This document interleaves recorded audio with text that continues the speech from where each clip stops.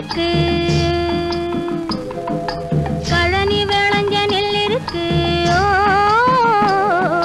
காடு கொடுத்த கனி இருக்கு. கழனி விளைஞ்ச நெல் இருக்கு.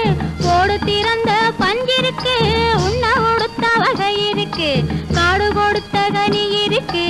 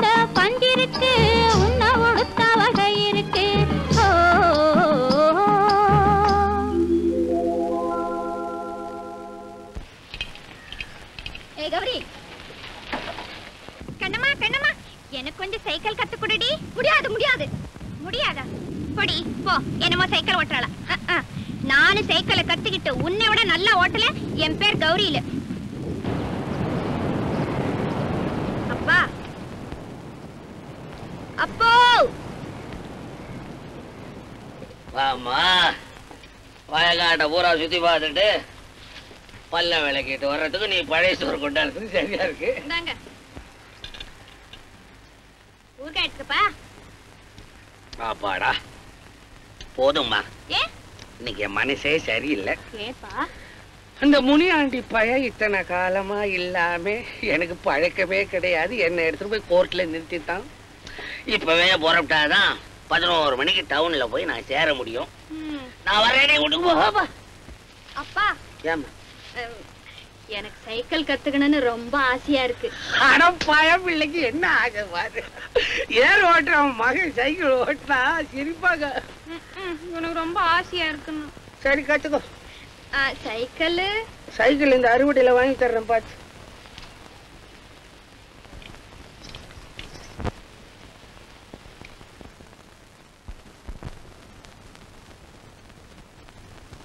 இவரான நாட்டு முக்கியஸ்தர்களில் முனியாண்டியும் ஒருவர். அவர் ஊருக்கு பெரிய மனிதர். முனியாண்டியின் செல்வாக்கை கண்டு சிவசாமி பொறாமை கொண்டு அவரை ஒழித்து விட வேண்டும் என்ற திட்டத்துடன் தாக்கி காயப்படுத்தி இருக்கிறார் சாட்சிகளின் வாயிலாக இது நிரூபிக்கப்பட்டிருக்கிறது.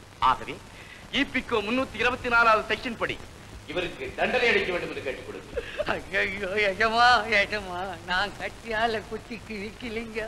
அவனை அவனே குத்தி கிழிச்சுக்கிட்டு இருப்பான். அவன் அப்பேற்பட்ட ஆள் நான் தொடவே இல்லைங்க. அவன் தான் என்ன பெரட்டி பெரட்டி அடிச்சானுங்க. அதற்கு ஏதேனும் சாட்சிகள் உண்டா? சாட்சி ஒண்ணும் இல்லைங்க. மாமரத்துக்கிட்ட தான் உதைச்சான் அது என்ன வந்து சொல்லுமா? நான் என்னத்தை செய்யறது? ஆனா ஒரு கொலா மாட்டின ஆள் வந்தாருங்க அப்பா.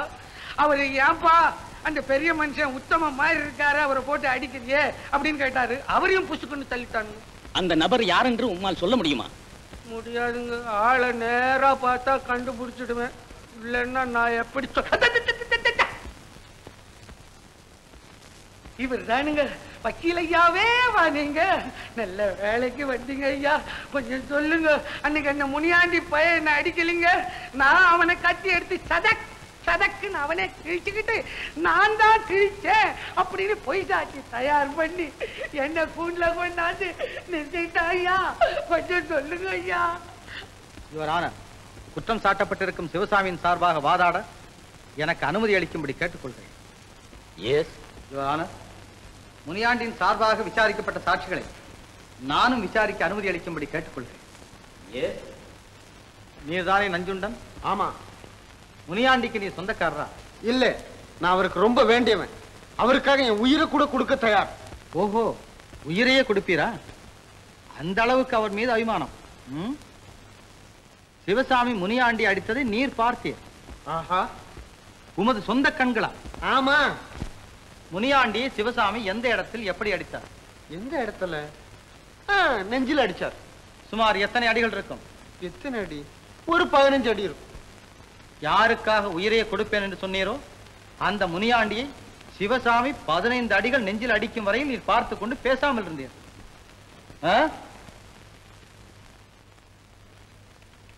நீர் போகலாம்.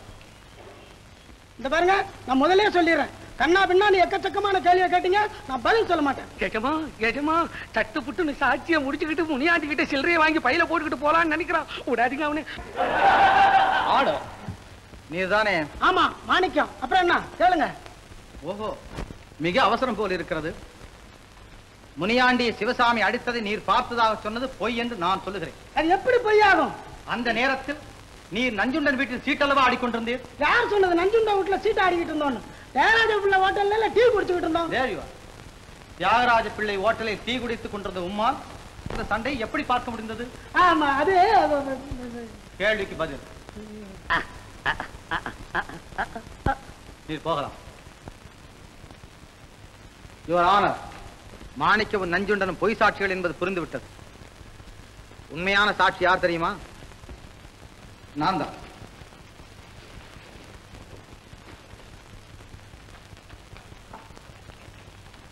யுவர் ஆனர் இந்த சம்பவம் நடந்த அன்று எங்கள் நிலங்களை பார்வையிட நான் காட்டூர் கிராமத்துக்கு சென்றேன். அப்போது வழியில் வந்து கொண்டிருந்த சிவசாமியை முனியாண்டி வழிமறித்து அடிய தாக்குவதை பார்த்து சிவசாமி அடித்தாளாமல் ஓடி வந்து என்னை காப்பாற்றுங்கள் என்று என்னிடம் வேண்டினார் அடிக்க வேண்டாம் என்று நான் முனியாண்டியிடம் சொன்னேன்.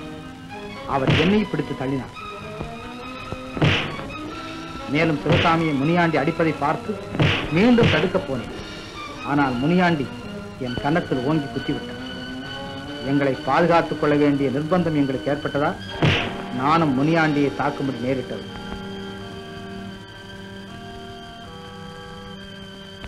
என் குத்துக்களால் கீழே விழுந்த முனியாண்டி எழுந்து எங்களை பார்த்து கருவிக்கொண்டு அங்கிருந்து போய்விட்டார்.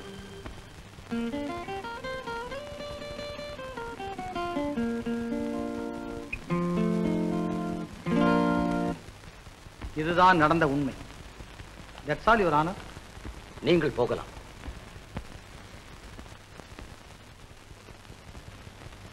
யுவர் ஆனர் சிவசாமி நிரபராதி ஆகவே அவரை விடுதலை செய்யும்படி கேட்டுக்கொள்கிறேன்.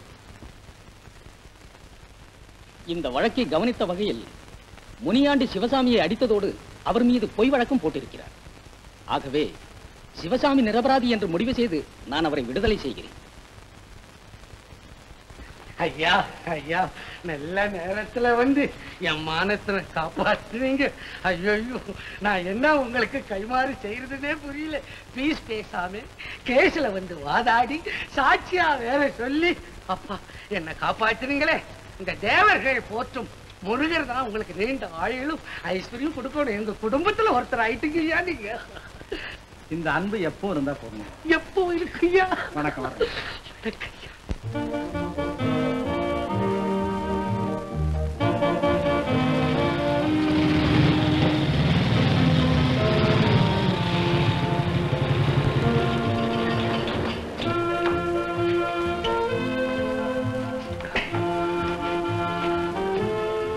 அம்மா வந்துட்டாங்கடா இன்னும் இல்லைங்க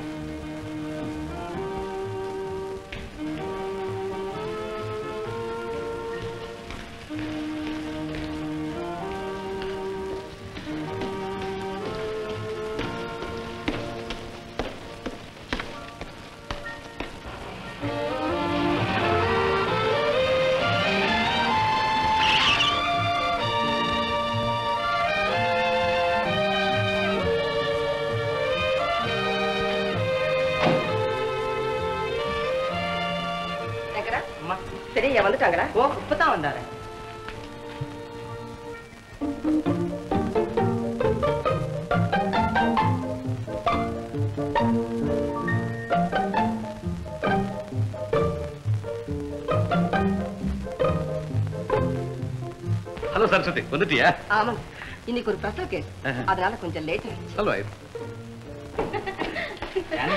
அப்பா அம்மா தான் வந்துட்டாங்களா? வந்துட்டாங்க. சாப்பாடெல்லாம் ரெடியா இருக்கு.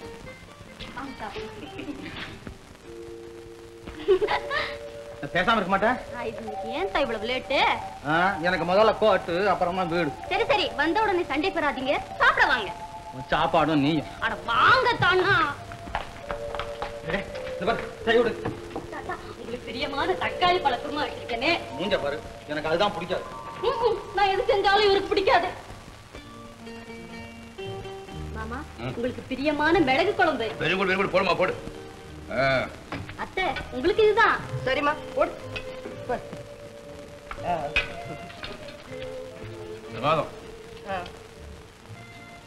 பெரியத்தா உங்களுக்கு பிடித்தமான முருங்கைக்காய் சாம்பார். மோர் குழம்பு என்னமாச்சு அதுவும் உண்டு. கொட்டு கொட்டு அக்கா உங்களுக்கு இதுதான்.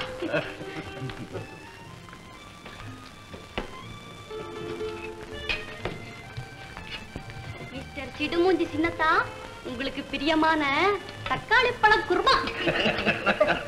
ஆமா ஏமா ஜெயா எனக்கு பிரியமான குழம்பு அத்தைக்கு போட்ட பெரியவனுக்கு பிரியமானது ஜானகின்னு சொன்னேன் கோபால பிரியமானது யாருக்கு போட போற? வேற யாருக்கு போடுவா? அவளே போட்டுப்பா சும்மா அம்மா உங்களுக்கு விஷயம் தெரியுமா? இன்னைக்கு தம்பி கோர்ட்ல பிச்சு உதறிட்டான். டே கோபால் ரெண்டாவது சாட்சி மாணிக்கத்தை முடக்கின பாரு. Wonderful just way of tackling என்னப்பா அது? சீனியர் ஆனா நீயே உன் தம்பிய புகழ்ந்து பேசுறிய. என்னங்க? பெரியவன் சொல்றத கவனிச்சிங்களா? கவனிச்சேன் கவனிச்சான். கூட பிறந்தவன்றதுக்காக தம்பியை கோபுரத்துல தூக்கி வைக்கிறான். எனக்கு என்னமோ கோபால் அவ்வளவு திறமைசாலியா தோணல. அவன் தெரிஞ்சுக்க வேண்டிய விஷயம் இன்னும் நிறைய இருக்கு. அப்படி என்னப்பா? தம்பி தெரிஞ்சுக்க வேண்டியது நிறைய இருக்குது. எந்தெந்த விஷயம் எங்கெங்க பேசணும் அங்கதான் பேசணும். இது சும்மா சாப்பிடு. பாத்தீங்களாமா சாப்பிட. பாத்தீங்களாமா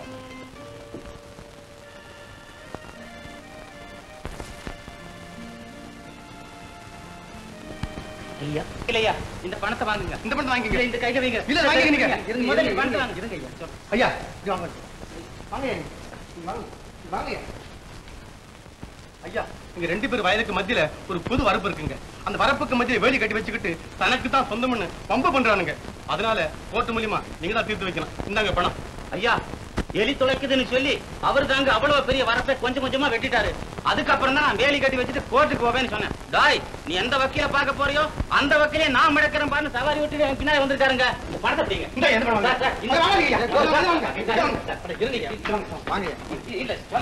பணத்தை வாங்க வாங்க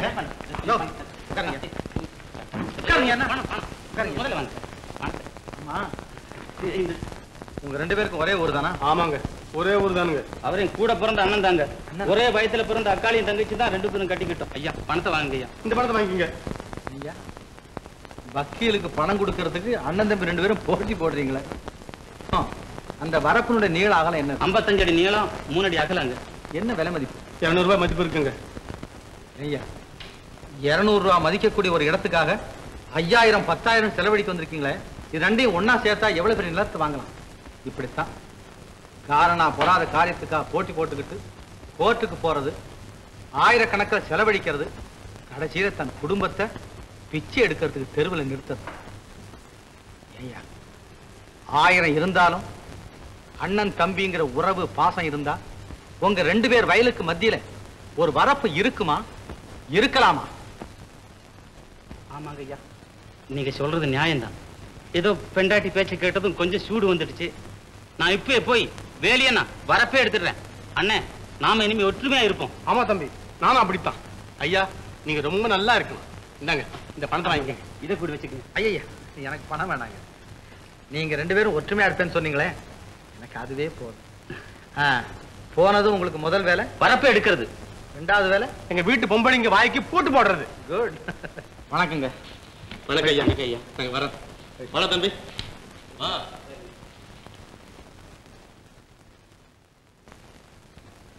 பாத்தீங்களா? சின்னவனுடைய அறிவை. அவனை பத்தி என்னென்னமோ சொன்னீங்களே. சரஸ்வதி கோபால் ஒரு மேதைன்னு எனக்கு இப்போ இல்ல எப்பவோ தெரியும். அவர் பார்த்துட்டே வருங்காலத்துல ஒரு பெரிய ஜட்ஜ் ஆக போறான். சச்ச பிரில்லியன் பாய் பின்ன எதுக்கு சாப்பிடும் போது அப்படி சொன்னீங்க? அது பார் சாவித்ரி புத்திசாலிகளை உலகம்தான் புகழணும். அதை கேட்டு பெத்தவங்க பெருமை பண்ணுமே தவிர அவங்களும் சேர்ந்துக்கிட்டு புகழப்படாது. அது மட்டும் இல்ல பிள்ளைகளை எப்பவுமே தட்டிட்டே இருந்தாதான் அவங்க கெட்டு போகாம நல்லபடியா இருப்பாங்க. என்ன சொல்ற? போலீஸ் இன்ஸ்பெக்டர் அதோட பொறுப்புள்ள ஒரு தகப்பனா? உங்களுக்கு புரியாதது என்ன இருக்கு? என்ன? சொன்ன? அது உலகம் சொல்ல வேண்டிய விஷயம். நீ சொன்ன எப்படி? ஆமா ஆமா. ஐயா வாங்க வாழைக்கண்ணு ஏன் இப்படி இருக்கு? கொஞ்சம் உரம் வச்சிருக்கு. ரெண்டு தண்ணி வாஞ்சதுன்னா எல்லாம் சரியா போயிருங்க. ஆமா கரும்பு எப்படி இருக்கு? கரும்பு ரொம்ப பிரமாதமா இருக்குதுங்க. எனக்கு ஐயா பாத்துட்டு போறது நீ சொன்னா போதும். ஏய் ஜாக்கிரதை பாத்துக்க. பாத்து எதுக்கு ஒரு இடம் நீங்க எல்லாம் சுத்தி பாத்து ஆ மருதமலா. ஏய்.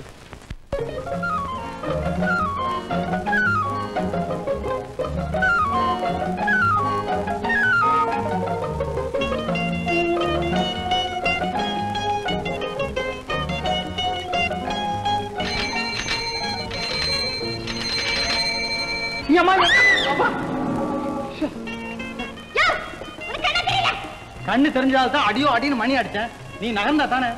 புல்லு கட்டையை தூக்கிட்டு ஆட்டுக்குட்டையும் பிடிச்சிட்டு அப்படியே ரதம் மாதிரி அசைஞ்சா? என்ன? ரதமா சொல்ற உன்னை அதான் பண்ணி விடுவேன் ஐயோ ஐயோ. என் ஆட்டுக்குட்டி ஓடி போச்சு.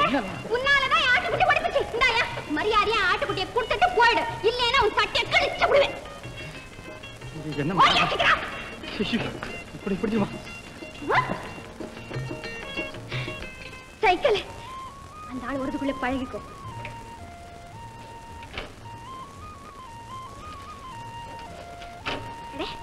என்ன போக மாட்டேங்குது. அந்த ஆள் எப்படி ஓட்டிக்கிட்டு இருந்தாரு? மந்திரம் போட்டாரோ? அம்மா. என்ன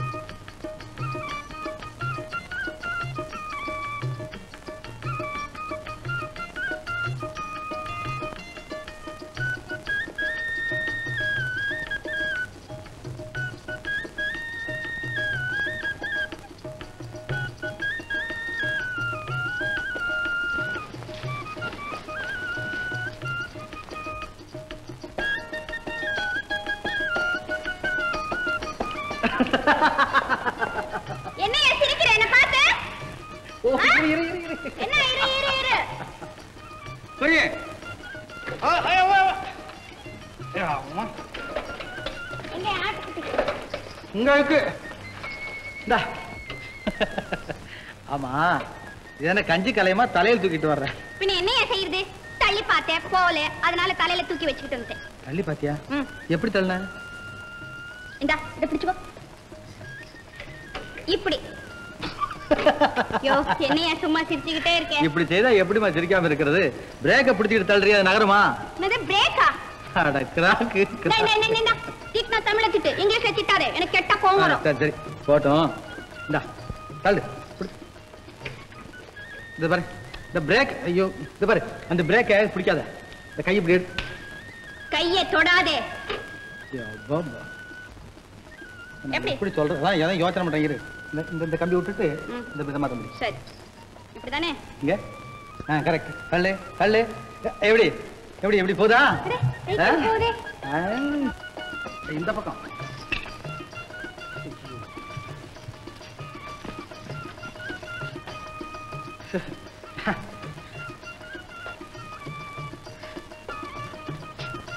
ஆமா நீங்க அடிக்கடி இந்த பக்கம் வர்றீங்களா? ஆ, எனக்கு தோட்டம் இந்த பக்கம் இருக்கு. எங்க வயல் கூட பக்கத்துல தான் இருக்கு. நானும் தினம் வருவேன். என் பேர் கௌரி. உங்க பேரு? கோபால். நான் ஒரு வக்கீல். ஓஹோ. ஐயோ யாரோ வர்றாங்க.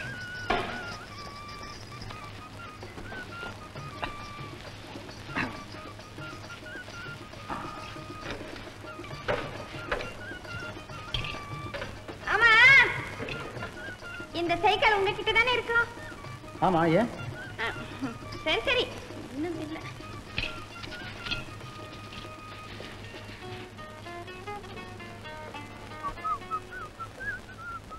மச்சான்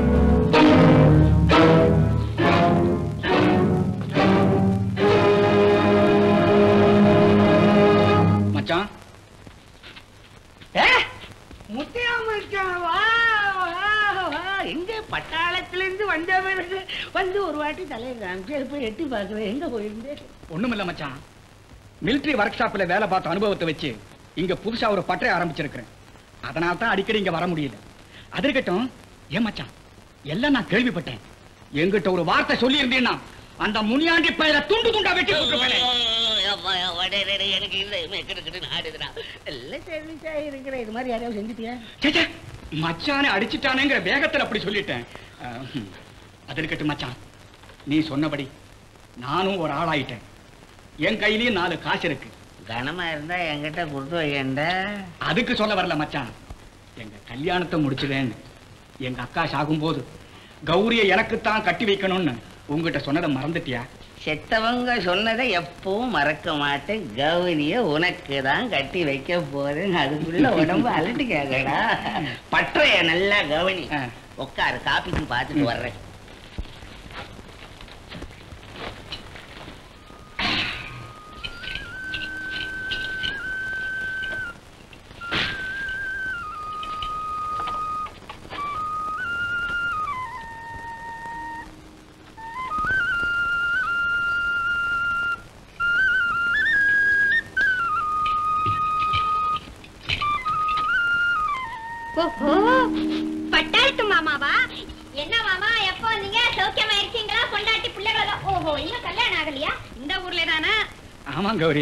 நீயும் மச்சான் இருக்கிற வரைக்கும். நான் இந்த ஊரை விட்டு வேற எங்க போக போறேன்? அவன் எங்க போக போறான்? அவனா ஊரை சுத்து சுத்து சுத்திட்டு வந்து இருக்கிறானு பட்டாளத்து மச்சான் காபி தண்ணி இல்லடா எப்பா மோர் சாப்பிடுற? மோர் எதுக்கு மச்சான்? ஒரு நாள் உங்க வீட்டுல விருந்தே சாப்பிட்டுறேன். ஒரு நாள் விருந்து இருக்கட்டும் இது ரெண்டு நாள் மோர் நல்லா சுறுசுறுன்னு இருக்கும் வெயில் நேரத்துல சாப்பிடு. பரவாயில்ல மச்சான். ஏன் மச்சான் நீ சும்மா தானே இருக்கிற? வாய அப்படியே நம்ம பட்டறைய பார்த்துட்டு வரலாம். கௌரி நீங்க வா. நான் வரல. இன்னொரு நாளைக்கு வரேன். அப்பா கூட்டிட்டு போ. சரி மச்சான் வா. நான் போய் பட்டறைய பார்த்துட்டு வரவா?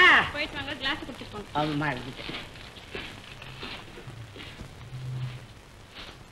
பற்ற ரோடு மேலேயே இருக்கா? ஆமா. அம்மா,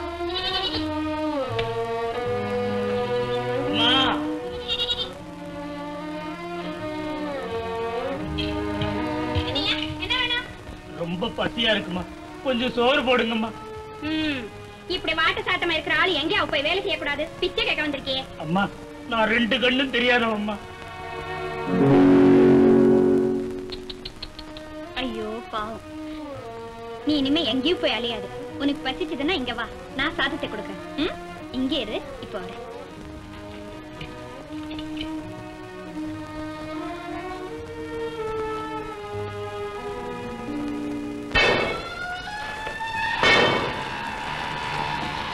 என்ன பற்ற என்ன பற்றடா டேய் பெரிய பற்ற ஆஹா, என்ன மிஷின்கள்?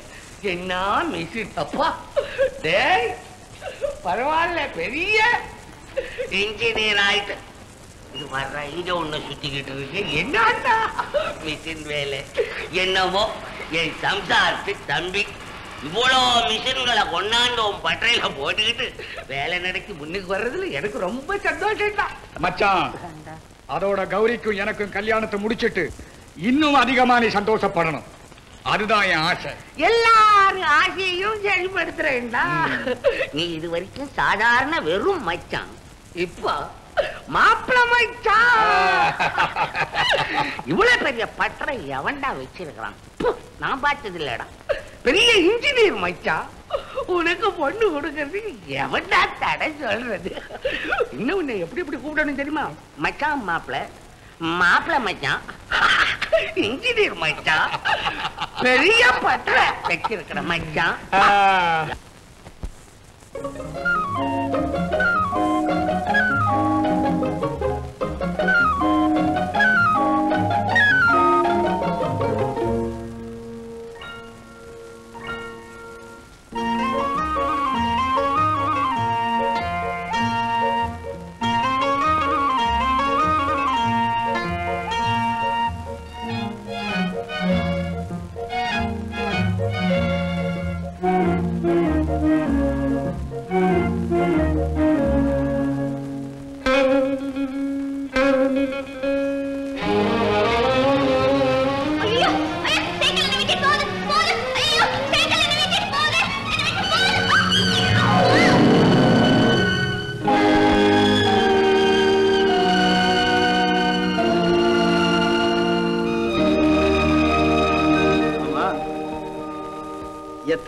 சைக்கிள் திருடுற வேலை. ஐயோ சைக்கிள் நான் திருல ஏதோ ஆசையா இருந்து தொட்டே ஓடி வந்துருச்சு.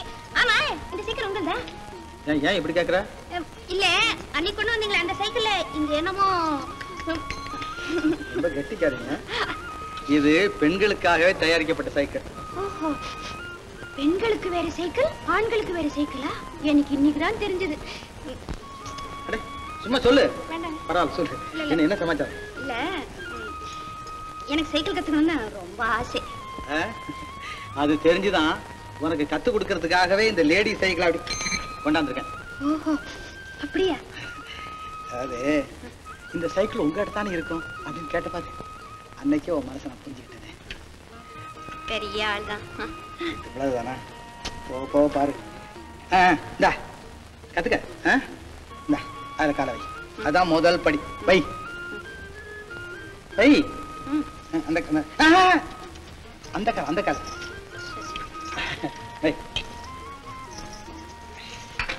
அப்படியே ஆ, ஆ. ம், வா. இரு இரு. ஆ ஓகே அப்பா. அடே இந்த கை இப்படி எடுத்து பிரேக் கை தொடாதீங்க. சாரி என்ன மது அப்பா கையை விட சொல்ற விட்டுட்டா கீழே விழுந்துடுறேன்? உனக்கு எப்படி சைக்கிள் சொல்லி கொடுக்கறதுன்னு தெரியலையே? இந்த ஹேண்டில் மாற மாத்தலாம் பிடிச்சிக்கிறேன். சரி. இங்க இல்ல இங்க இப்படி. சாரி பரவாயில்ல. இந்த கை இங்க. இந்த பிரேக்கை பிடிக்கூடாது? இரு இரு இரு.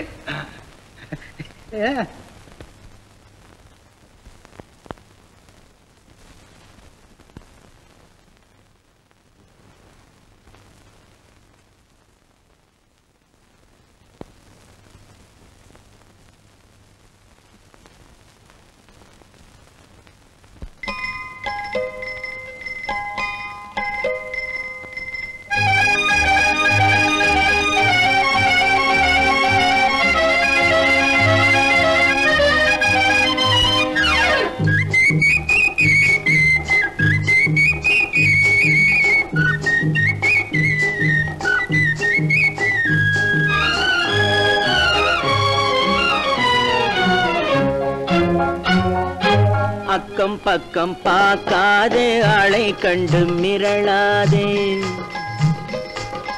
அக்கம் பக்கம் பார்க்காதே ஆளை கண்டு மிரளாதே இடுப்பை இடுப்பை வளைக்காதே ஹாண்டில் பாரை ஒடிக்காதே.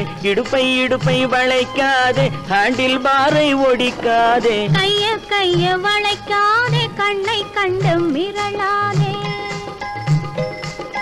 கைய கைய வளைக்காதே கண்ணை கண்டு மிரளாதே. பைய பைய ஒதுங்காதே. பள்ளம் பார்த்து போகாதே. பைய பைய ஒதுங்காதே. பள்ளம் பார்த்து போகாதே. அக்கம் பக்கம் பார்க்காதே. ஆளை கண்டு மிரளாதே.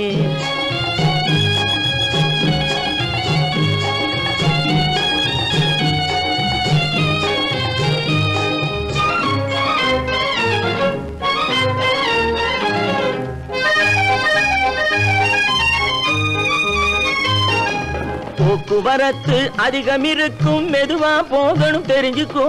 போக்குவரத்து அதிகம் இருக்கும் மெதுவா போகணும் தெரிஞ்சுக்கோ. பொண்ணை பார்த்தா போக்குவரத்தும் நின்னு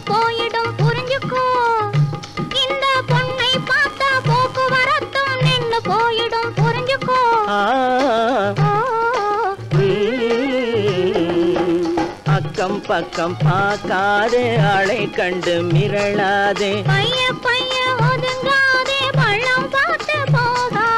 அக்கம் பக்கம் பார்க்காதே ஆளை கண்டு மிரளாதே.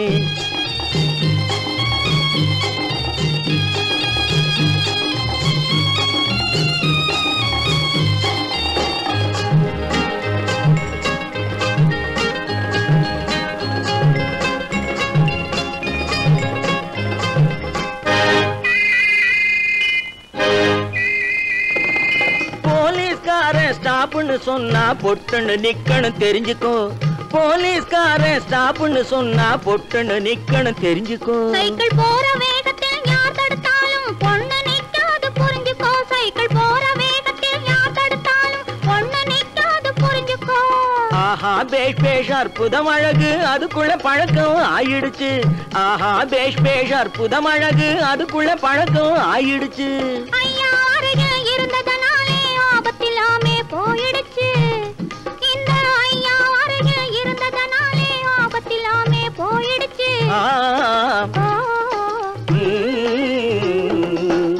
அக்கம் பக்கம் பார்க்காதே ஆளை கண்டு மிரளாதே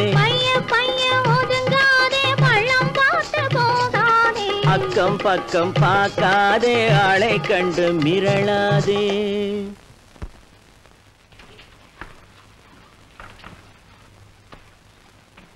என்னங்க?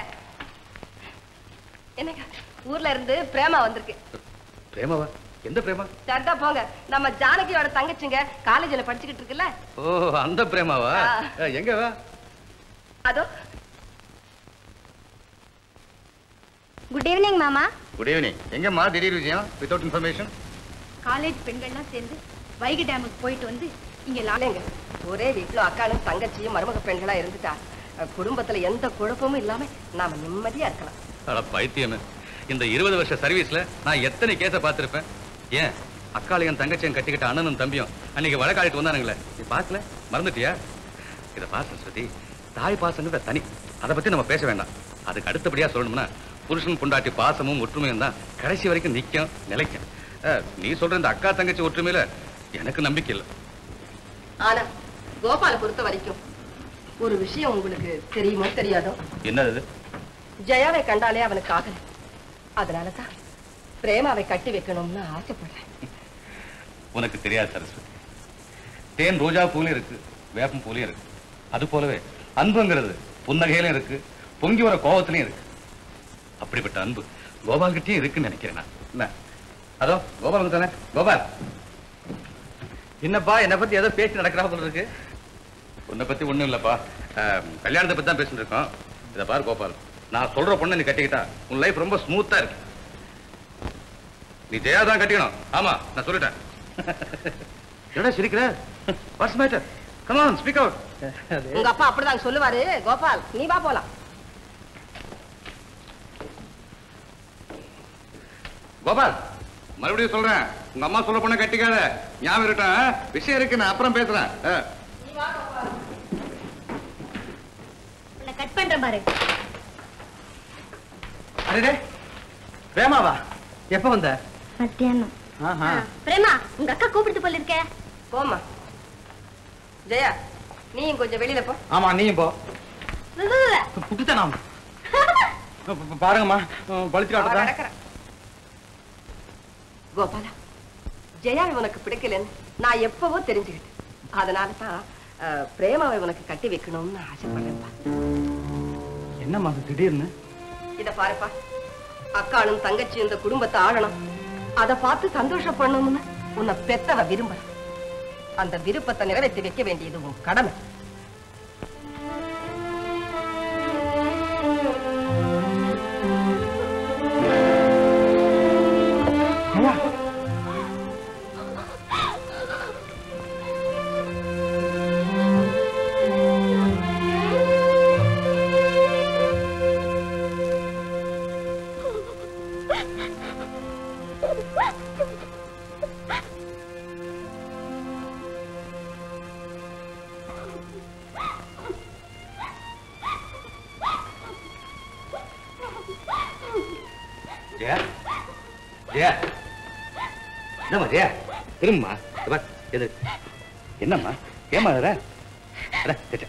சொல்லுமா ஏன்?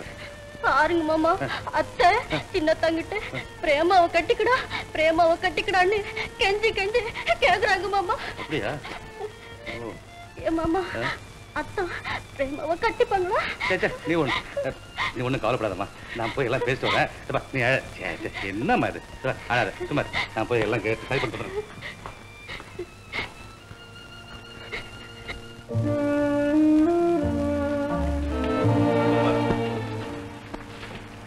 என்னப்பா இது உன் கல்யாண விஷயமா நான் பேசிட்டு இருந்தேன். நீ பாடி பேசாம வந்துட்டியா? ஒண்ணும் இல்ல இப்ப எனக்கு கல்யாணம் அவசியம்? நல்ல பிள்ளைப்பா. என்ன கல்யாணம் அவசியமானு கேக்குறிய? ஓஹோ. புரிஞ்சுது புரிஞ்சுது. உங்க அம்மா உன்னை நிறைய கன்ஃபியூஸ் பண்ணி வச்சிருக்காங்க. இந்த பாரு பாப்பா நான் சொல்றபடி அந்த ஜெயாவை நீ கட்டிக்க ஏன்னா அவன் அந்த பொண்ணுக்கு நம்மளை விட்டா வேற நாதி இல்லை. அது மட்டும் இல்ல அந்த பொண்ணு உன்னையே கட்டிக்கிட்டு இந்த வீட்லயே கிடக்கணும்னு ஆசைப்படுறான் அதுக்கப்புறம் நான் அவ்வளவுதான் சொல்ல முடியும். அப்புறம் நீ ப்ளீஸ் திங்க் பண்ணு அப்பா எனக்கு நிறைய கேஸ் இருக்குப்பா. அப்புறம் லீஷா பேசி ஏற்படுத்தியிருக்கோமே. கொஞ்சம் டைம் அப்படி கேளு. டேக் யுவர் ஓன் டைம் அதை பத்தி கவலை இல்ல. உனக்கு எப்ப லீடர் சொல்லு அப்ப கல்யாணத்தை வச்சுக்கோ. ஆனா ஒண்ணு நீ ஜெயாவை தான் கல்யாணம் பண்ணிக்கணும். பி ப்ரிப்பேர்ட் ஃபார் ஓகே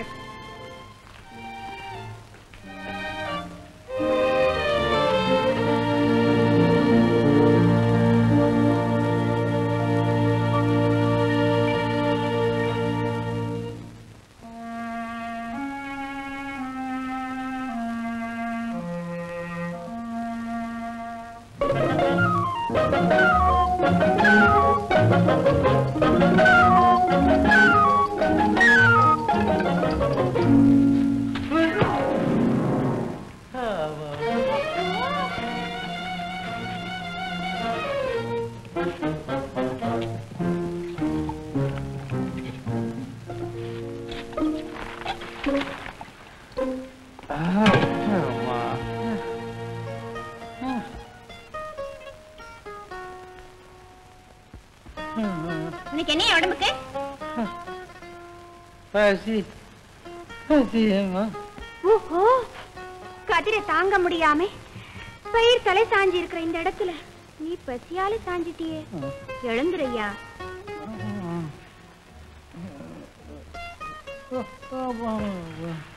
முடியலையா?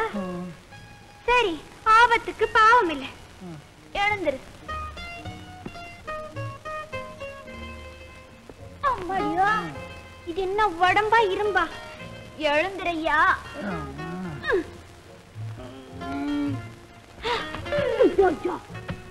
யா, இந்த உடம்பு பசிய தாங்காதுதா இந்த கைய கழுவிக்க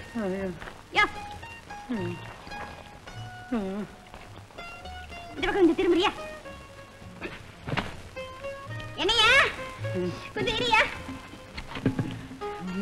சரியா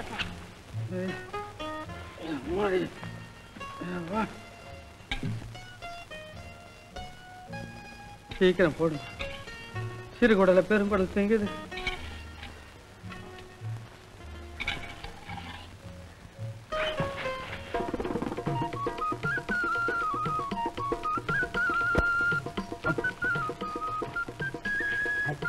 என்னய்யா லாரி மாதிரி வேகம் கொஞ்சம் இருயா ஊறுகாய் போடுறே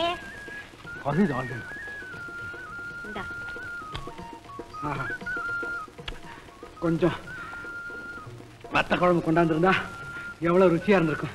ஓஹோ. ருசிச்சு சாப்பிடுறாரு போல இருக்கு. ம் நல்ல சாப்பாடு வச்சா சாப்பிடலாம். நினைச்சேன். இந்த வேகத்துக்கு விக்கல் வரும் நினைச்சேன். இந்தாயா இந்த வேகத்துக்கு விக்கல் மட்டுமா வரும்? குடல்ல சிக்கல் வரும். இந்தா.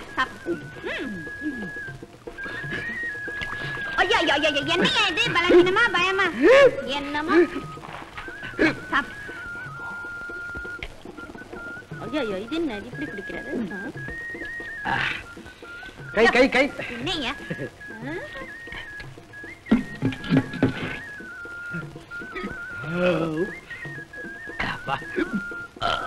அப்பா. ஒரு வழியா பசி தீர்ந்தது. எப்படி? கொஞ்சம் வெத்தில பாக்குறா ஓஹோ. நல்லா இருக்கு ஐயா சரி போனா போடு. சாப்பிடுறதுக்கு சாப்பாடு கொடுத்தா வெத்தலை பாக்கு வேற கேக்குறியே. ம் போகட்டும். இந்தா. ஏய்யா உன்னை பார்த்த வசதியா இருந்த ஆள் மாதிரி தெரியுதே. உனக்கு எவ்வளவு கஷ்டம் வந்தது? அந்த வயத்தரத்துல ஏன் பொண்ணு கேட்கறேன் ஓஹோ. ஒரு வக்கீல் நம்பி சொத்தெல்லாம் வச்சு கேஸ் நடத்தினேன் அந்த பாவி பையன் என்ன பண்ணான் தெரியுமா? ரொக்கமா பீஸு பீஸுன்னு வாங்கி சொத்தெல்லாம் பீஸ் பீஸா பண்ணிவிட்டான். இப்போ ஒரு வக்கீலையும் பார்த்தாலும் எனக்கு ஆகாது. உன் கேஸ் தோத்து போச்சுங்கிறதுக்காக உலகத்துல இருக்கிற வக்கீல் எல்லாம் ஆகாதுங்கறியா நீ நல்ல வக்கீலா பார்த்து வச்சிருக்கணும். என்கிட்ட சொல்லியிருந்தா ஒன்னா கிளாஸ் வக்கீலா சிபாரஸ் பண்ணிருப்பேன் அது யார் பொண்ணு? ஒன்னாங்க வக்கீல்? சொல்லட்டுமா? அவர்தான். கோபால். ஐயா அந்த உதவாக்கரை நம்பி தான் ஓட்டாண்டியா நிக்கிறேன். நான் ஒரு முட்டா போய் போயும் போய் அந்த மடையனை நம்பினேன்.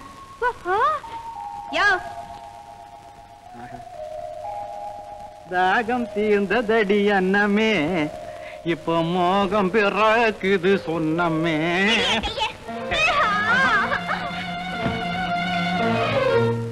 பொண்ணு,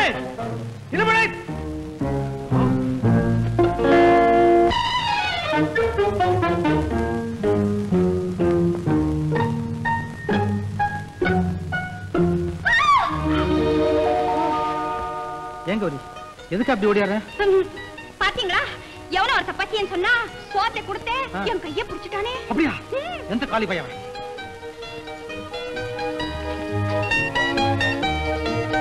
ஓஹோ, என்ன? அந்த பாவிய காணாமே.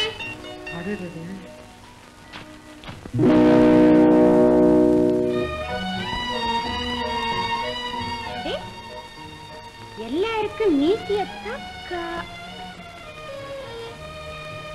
அந்த போக்கிரி மீசி இங்க எப்படி வந்தது? ஆமா அதுதான் தெரியல. இது எங்க இருந்து வந்தது? ஓஹோ இங்கிருந்து வந்தது. என்ன சிரிக்கிறீங்க? வெற்றி. நான் நினைச்சது வெற்றி அடைஞ்சிட்டு எனக்கும் தான் வெற்றி. உங்களை கண்டுபிடிச்சிட்டே இல்ல? ஐயா தாகம் தீர்ந்ததும் மோகம் பிறந்து விட்டதா? வள்ளி திருமணமா?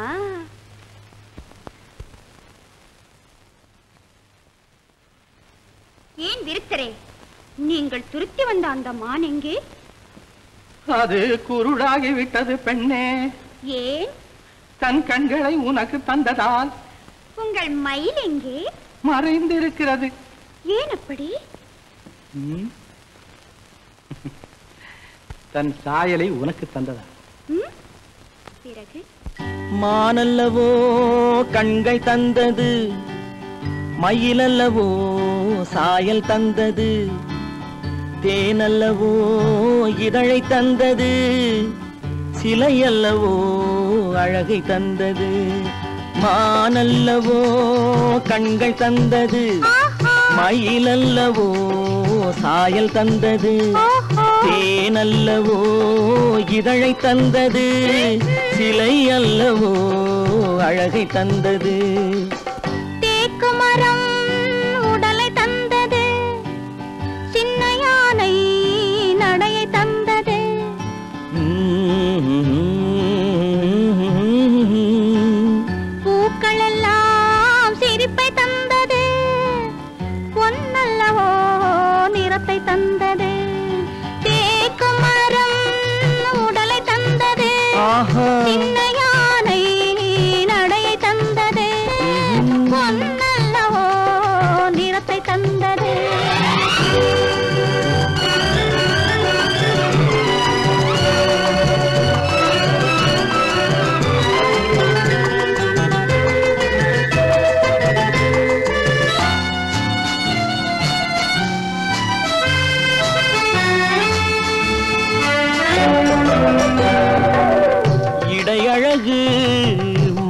உறக்கம் தந்தது. இசையழகு மொழியில் வந்தது. இடையழகு மயக்கம் தந்தது. இசையழகு மொழியில் வந்தது. நடை அழகு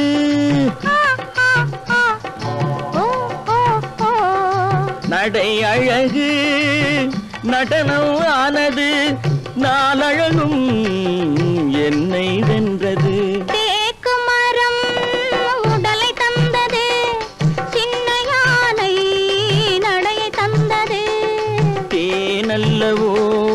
இதழை தந்தது.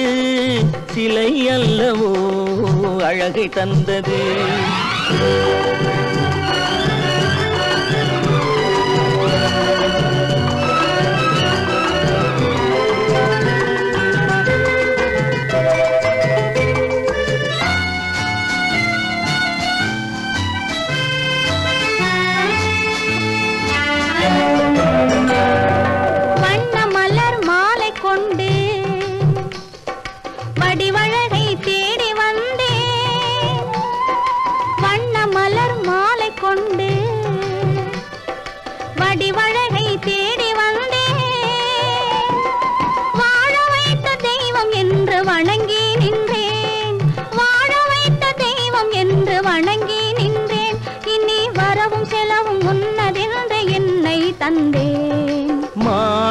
மானல்லவோ கண்கள் தந்தது?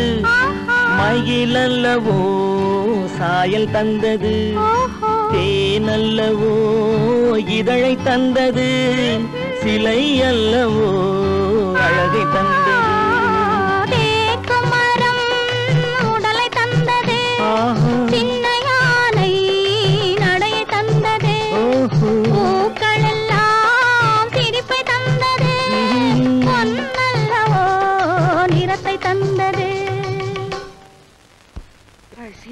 வைத்த கிள்ளுது இன்னும் இந்த பொண்ணு சோத்தை கொண்டார காணும்.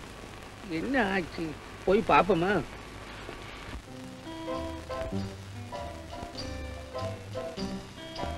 கௌரி! அம்மா கௌரி!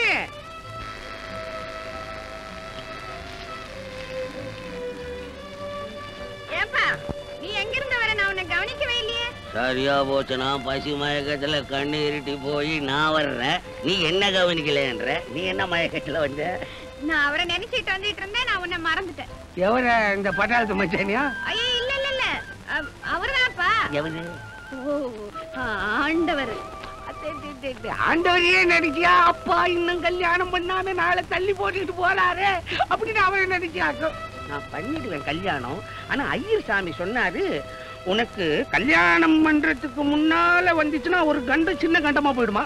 கல்யாணம் ஆகி அந்த கண்டம் வந்துச்சுன்னா உயிருக்கே ஆபத்து வந்துடுமா? அதனாலதான் நான் கல்யாணத்தை தள்ளி போட்டுக்கிட்டு போறேன். ஆனா ஒண்ணு செய்வோமா? எப்படி? நான் பத்து பேரோட வாய்க்காக்கரையில வந்து நிக்கிறேன். முழங்கால் தண்ணி தான் போகுது. நீ வந்து தொபக்குன்னு அதுல வீழு. நான் லபக்குன்னு தூக்கிடுறேன். அந்த கண்டம் சீரிசா போயிடும். என்ன யோசனை? வாங்க அப்ப சாப்பிடுவோம். பசி மயக்கத்துல சாப்பாட்டு மறந்துட்டேன்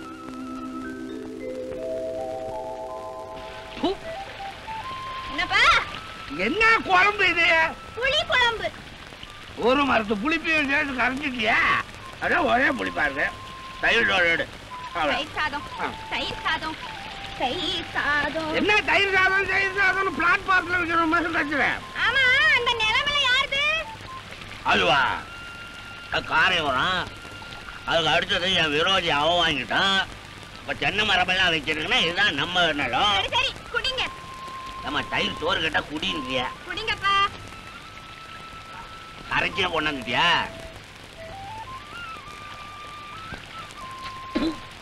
ஏப்பா என்னம்மா தண்ணில கரைச்ச மாதிரி இருக்கு தயிர்ல கரைக்கலையா? தயிரா? என்ன தயிரான்ற தயிரான்னா தெரியாது கா ராத்திரில உர ஊத்தி காலம்புற கட்டி ஆகுமே தெரியும். தெரியும் பாலு பூனிய குடிச்சிடுச்சு. பாலு பூனையை குடிச்சிருச்சா? ஆ, என்ன இன்னைக்கு பூரா உளறலாவே இருக்கு உன் விஷயம்? சரி சரி. ஐயர் சாமி கிட்ட போய் தட்டு புட்டுன்னு ஒரு நாளை பார்த்து கல்யாணம் வச்சிட வேண்டியதுதான். நான் இதழை சிலை அல்லவோ அழகை தந்தது. மானல்லவோ கண்கள் தந்தது. மயிலல்லவோ சாயல் தந்தது. தேனல்லவோ இதழை தந்தது. சிலை அல்லவோ அழகை தந்தது. ஏன் தான் நிறுத்திட்டீங்க பாடுங்கத்தா. பாட மாட்டீங்களா? ஆமா அம்மா அண்ணி எல்லாம் எங்க? கோயிலுக்கு போயிருக்காங்க. நீ ஏன் போகல? ஏன்டா? எனக்கு வரமும் வாழ்வும் கொடுக்க வேண்டிய தெய்வம் அங்கேயே இருக்கு. இங்கே இருக்கு. ஒரே ஒரு வித்தியாசம். அந்த தெய்வம் பேசாமலே இருக்கும். ஆனா கேட்ட வரம் கொடுக்கும். இந்த தெய்வம் பேசும். வரம் மட்டும் கொடுக்காது. ஜெயா ஏன் இப்படி எல்லாம் பேசுற? அத்தான் என் கல்யாண விஷயமா நீங்க மாமா கிட்ட பட்டும் படாமலையும் பேசுங்க கேட்டுக்கிட்டு தான் இருந்தேன். இப்ப அதை பத்தி உங்க முடிவை நான் தெரிஞ்சுக்கணும். ஓஹோ அவசியம் தெரிஞ்சுக்கணுமா? ஆமா. உன்னை கல்யாணம் செய்துக்க எனக்கு இஷ்டம். அத்தா ஜெயா இஷ்டம் இல்லாத என்ன கல்யாணம் செய்துக்கிட்டு நீ சுகமா வாழ முடியும்னு நினைக்கிறியா நிச்சயமா அத்தா முதல்ல உங்க கையால கட்ட போற தாலி என் கழுத்துக்கு வரட்டும் அப்புறம் அந்த தாலிக்கு எவ்வளவு சக்தி இருக்குங்கிறத நான் உங்களுக்கு புரிய வைக்கிறேன் ஒரே வார்த்தை ஜெயா குழந்தை பிராயத்திலேருந்து உன்னை என் தங்கச்சியா தான் நினைச்சிருக்கேன்னு தவிர தாரமா நினைக்கல ஜெயா நான் தாரமா நினைக்கவே. ஐயோ அத்தா அத்தா அத்தா. சொல்லாதீங்க அத்தா நான் உங்களை தான் நம்பிருக்கேன் என்னை கைவிட்டுடாதீங்க அத்தா என்னை கைவிட்டுடாதீங்க.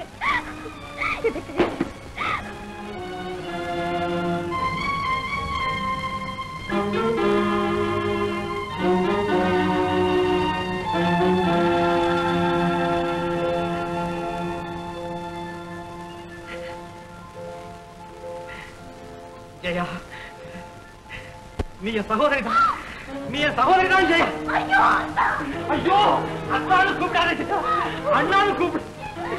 மறுபடியும் சொல்றேன். நீ என் சகோதரி தான் நீ என் சகோதரி தான் நீ என் சகோதரி தான் ஜெயா நீ என் சகோதரி தான் ஜெயா நீ என் சகோதரி தான்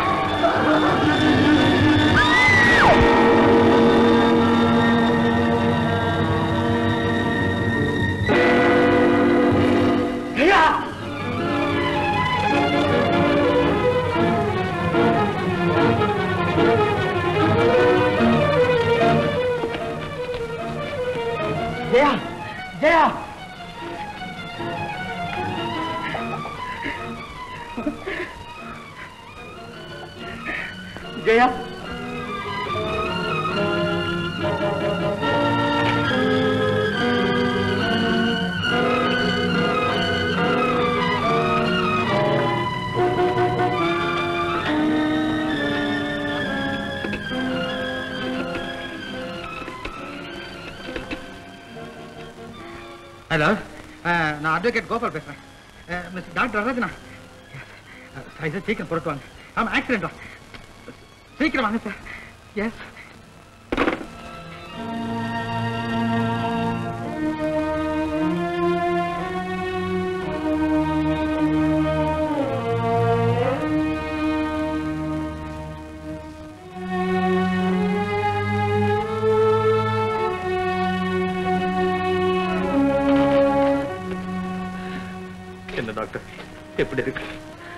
கால் இனிமே நடக்க முடியாது. அதோட இதயத்துல பலமான அடிபட்டிருக்கு. நாளை மத்தியானத்துக்கு மேல தான் உறுதியா சொல்ல முடியும். நான் கொடுத்த மருந்தை டைம் பிரகாரம் கொடுங்க அப்புறம் வந்து பாத்துக்கிறேன்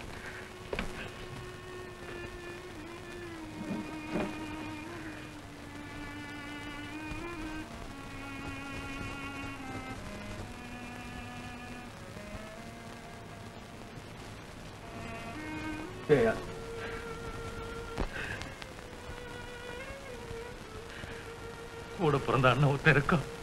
அவன் வளர்த்த வாழ வைப்பாங்கிற தைரியத்தில் உன்னை என் கையில ஒப்படைச்சிட்டு போயிட்டாம்மா அவங்க அம்மா. நான் உனக்காக பெரிய கோட்டையை கட்டி வச்சிருக்கேம்மா. அதை இடிச்சிட்டு என்னையும் ஏமாத்திட்டு போயிடாத தாயே என்னையும் ஏமாத்திட்டு போயிடாதம்மா. ஜெயா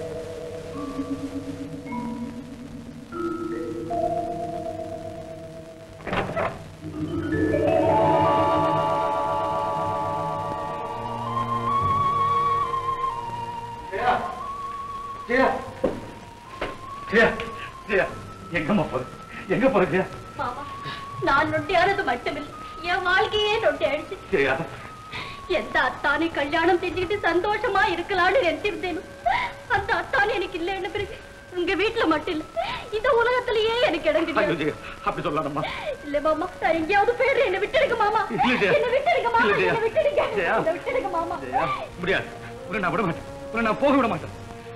மாமா நான் ஒரு அனாதை ஆயிட்டேன் மாமா. என்னால உங்களுக்கு எந்த சிரமமும் வேண்டாம். தயவு செய்து எனக்கு வழி விடுங்க மாமா. இல்ல இல்ல. நீ எப்படி அனாதை ஆக முடியும்? உன் தாய் மாமன் அவத்த இருக்குங்கிறத மறந்துட்டியா? ஜெயா தெரியுமா? எனக்கு எல்லாம் தெரியும். நீ நொண்டி ஆனதுக்கு காரணம் யார்? கோபா. இந்த உலகத்தை விட்டே போறேன்னு உன்னை சொல்ல வச்சது யார்? கோபா. கால ஒடிச்ச பாவத்துக்கு பிராயச்சித்தமா?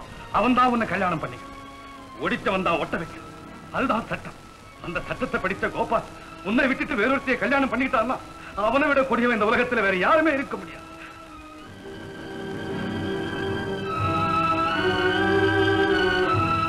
முத்தையா கோபால் கிட்ட நியாயம் இருக்குன்னா நீதி இருக்குன்னா அவன் உன்னதாமா கல்யாணம் பண்ணிக்கணும். உன்னையதாமா கல்யாணம் பண்ணிக்கணும்.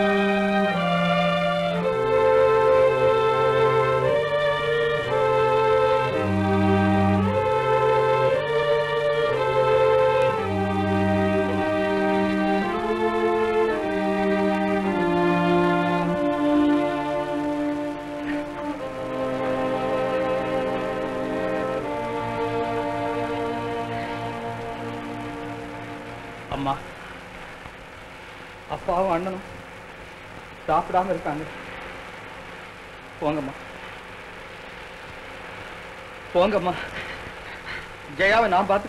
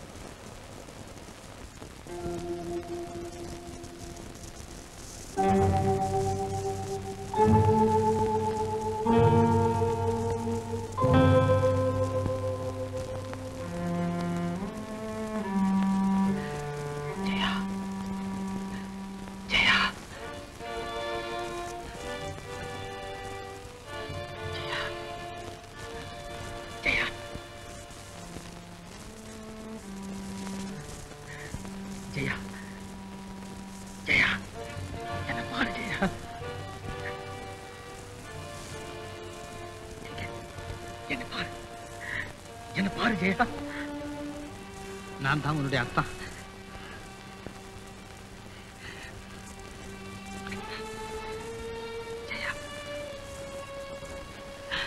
பயப்படாது. நான் உன்னே கல்யாணம் செய்திருக்கிறேன் நான் தான் உன்னை கல்யாணம் செய்துக்க போறேன் ஜெயா.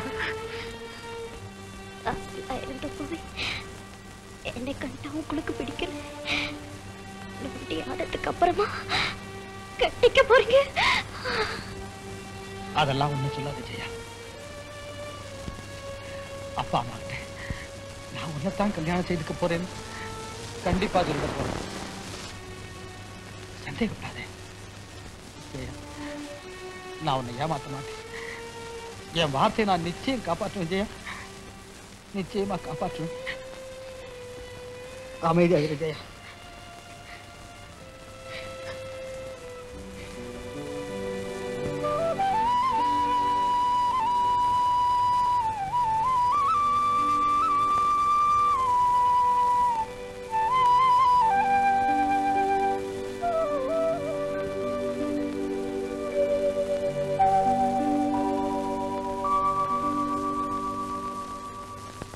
Bye.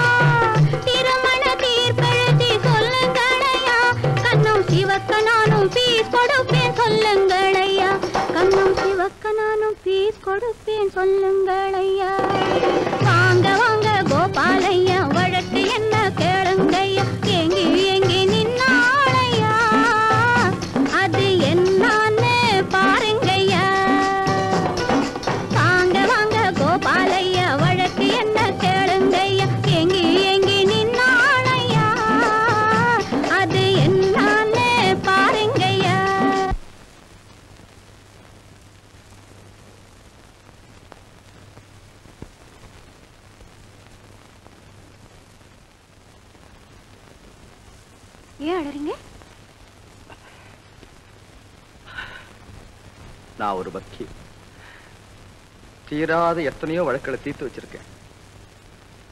ஆனா என் சொந்த வழக்கை தீர்த்து வைக்கிறதுக்காக உங்ககிட்ட ஆலோசனை கேட்க இல்ல. முடிவு தெரிஞ்சுக்கலாம்னு வந்திருக்கேன். கௌரி என்னை எதுக்காக விரும்பினேன் இது கூட தெரியாதா? நீங்க என்ன விரும்புனீங்க? நான் உங்களை விரும்பினேன். நீங்க என்ன வெறுத்திருந்தா நானும் உங்களை வெறுத்திருப்பேன். அப்படின்னா இப்போ உன் வெறுப்புக்கு ஆளாக முடியாத சந்தர்ப்பம் எனக்கு கிடைக்குமா? ஐயோ அப்படி சொல்லாதீங்க. நிஜமா நடந்தாலும் நடந்துடும். நிஜமா நடந்துடுச்சு கௌரி.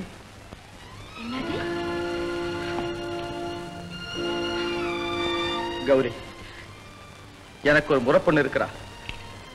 அவ பேர் ஜெயா. எங்க வீட்டுல தான் இருக்கிறா. என் சொந்த அத்தை பொண்ணு. என்ன? அத்தை பொண்ணா? இப்ப அவளுக்கு என்ன? கல்யாணம் நடக்க போகுது நடக்கட்டுமே? யார் வேண்டானது? நீங்க ஏன் வருத்தப்படுறீங்க? நான் தானே வருத்தப்படணும். நான் தானே அவளை கல்யாணம் செய்துக்க போறேன்.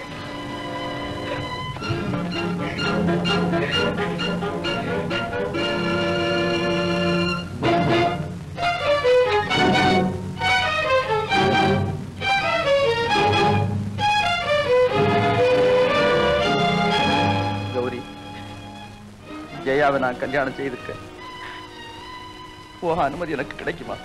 அனுமதியா எனக்கு துரோகம் செய்துட்டு இன்னொருத்திய கல்யாணம் செய்துக்க போறீங்களே? இந்த அநியாயத்துக்கு என்கிட்ட அனுமதி கேட்க வந்திருக்கீங்களா? இல்ல உனக்கு துரோகம் செய்யணுங்கிற எண்ணம் இருந்தா வீட்டிலே இருந்திருப்பேன் நான் இங்க வந்தது நீதிக்காக கௌரி நீதிக்காக. காதலிச்சவளை கைவிட்டுட்டு அத்தை பொண்ணுங்கிற பாசத்துக்காக அவளை கல்யாணம் செய்துக்க போற நீங்களா நீதியை பத்தி பேசுறீங்க? நீ நினைக்கிறது தவறு. கௌரி என் அத்தை மகள் ஜெயா ஒவ்வொரு நிமிஷமும் உயிரோடு போராடிக்கிட்டு படுக்கையில் இருக்கா? நான் அவளை கல்யாணம் செய்துக்க மறுத்தா அந்த படுக்கை அவளுக்கு மரண படுக்கை ஆயிடும். அவளை காப்பாற்ற வேண்டியது என்னுடைய கடமை. அந்த கடமையோடு சம்பந்தப்பட்ட நீதிக்காகத்தான் நான் இங்க வந்தேனே தவிர பாசத்துக்காக இல்லை. எனக்கு முதல்ல நீதி அப்புறம் தான் பாசம். நீதிக்கு பின் பாசம். அதுதான் என் கொள்கை. நீதிக்கு பின் பாசம். அதுதான் என் லட்சியம். நிறுத்துங்க. நீங்க ஒரு சாமர்த்தியமான வக்கீலுங்கிறத கேவலம். என்கிட்ட தானே காட்டணும். உங்க வார்த்தை ஜாலத்தினால நீங்க செய்யற துரோகத்தை மறைக்க பாக்குறீங்களா இல்லவே இல்லை. நான் கடைசியா சொல்றேன். ஒரு பெண்ணுடைய காதலை கைவிடுறதை விட இன்னொரு பெண்ணை சாகடிக்கிறது பெரிய துரோகம். அந்த துரோகத்தை நான் ஒரு காலம் செய்ய மாட்டேன். உன்னை காதலிச்ச குத்தத்துக்கா கௌரி என்னை மன்னிச்சிரு. தயவு செய்து என்னை மன்னிச்சிரு.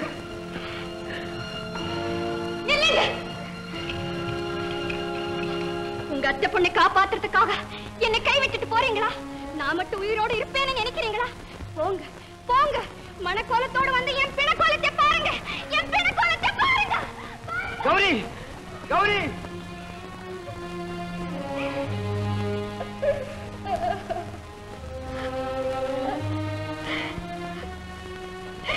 தம்பி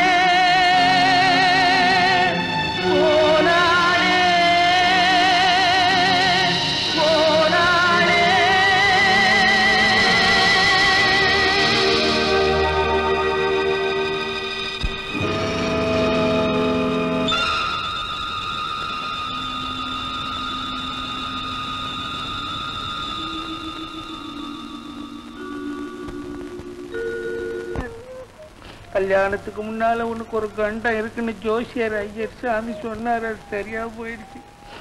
இனி தாமதிக்கிறதுல பிரயோஜனம் இல்லை. உனக்கு என்னது? மாமனுக்கு என்ன கட்டி வைக்க போறியா? நான் நல்லா இருக்குது உனக்கு பிடிக்கலையா?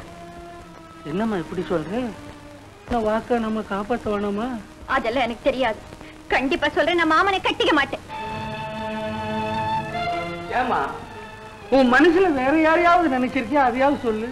அப்பா கடைசியா சொல்றேன். இனிமே அந்த பேச்சை எடுக்காதீங்க. நம்ம பொண்ணு விஷயம் பெரிய மூங்கி போதற மாதிரி சிக்கலால இருக்கு. என்னன்னே தெரியல. அந்த பய வேற. விஷக்கடைக்கு மந்திரம் போடுற மாதிரி கட்டி வை கட்டி வைன்னா நான் என்ன செய்யறதுன்னே தெரியலையே. ஐயனாரப்பா என் பொண்ணு மனசுல இருக்கிற பையன் ஆரப்பா பொண்ணும் புரியலையே எனக்கு.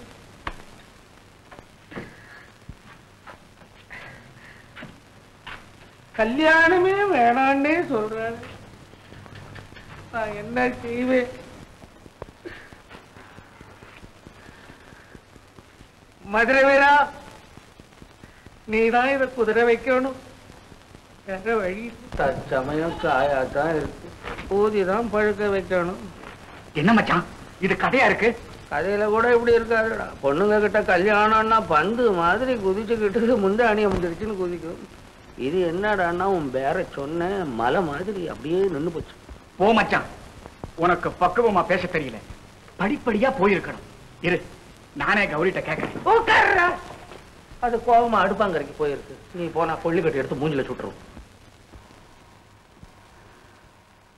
மச்சான். என்னடா? அப்ப எங்க அக்காவுக்கு கொடுத்த வாக்கு? வாக்கு வாக்குதான். நிறைவேற்ற வேண்டாமா? நிறைவேற்ற வேணும் அதுக்கு ஒரு வழி. என்ன மச்சான்? உனக்கு தெரியாது சும்மா. நான் செய்வேன். மச்சான் மச்சான்.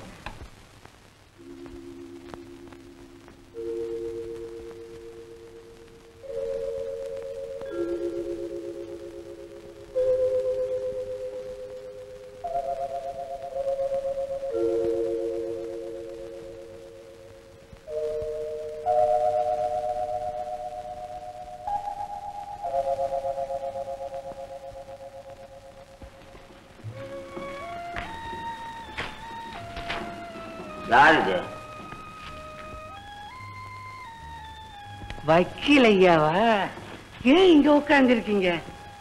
மனசு சரியில்லை அவ்வளவுதான்.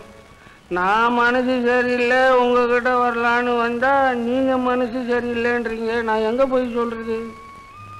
பரவாயில்ல. ஒரு நோயாளி கிட்ட இன்னொரு நோயாளி தன் துன்பத்தை சொல்றதுனால ரெண்டு பேர் மனசுக்கு நிம்மதி ஏற்படும். சும்மா சொல்லுங்க. வேற ஒண்ணும் இல்லைங்க. எனக்கு ஒரு பொண்ணு இருக்கு. அது என் சம்சாரம் தம்பிக்கே கட்டி வச்சிடணும்னு சொல்லிட்டு செத்து போச்சு. அது வாக்க நான் காப்பாற்றணும் பொண்ணு மாட்டேன்னுது. நீங்க வந்து கொஞ்சம் பஞ்சாயத்து பண்ணான்னு இல்லை. நீங்க என் மேல வச்சிருக்கிற அன்புக்கு ரொம்ப நன்றிங்க. ஆனா இது உங்க குடும்ப விஷயம். நான் வந்து தலையிடுறது அவ்வளவு நல்லா இருக்காது அப்படி சொல்லக்கூடாதுங்க. உங்க உபதேசம் கேட்டா திருடன் கூட தியாகி ஆயிடுவான் முரடம் கூட சாந்தமாயிடும். உங்க இஷ்டப்படி ஆகட்டும் ரொம்ப நன்றிங்க. நீங்க என்னமோ துன்பம்னீங்களே அதை நான் தெரிஞ்சுக்கலாமா? ஐயா இன்பம் இருக்கே. அது மனசுல தேங்கி நிக்கணும்.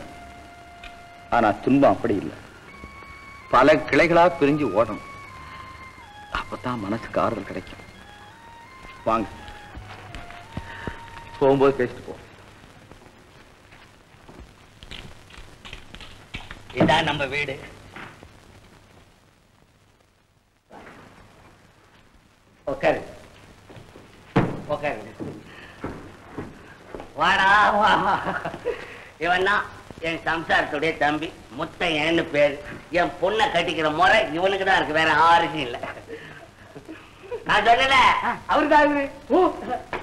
குட் மார்னிங் சார் பட்டாளத்துல இருந்தவன். கொஞ்சம் இருங்க வர தேங்க்யூ சார்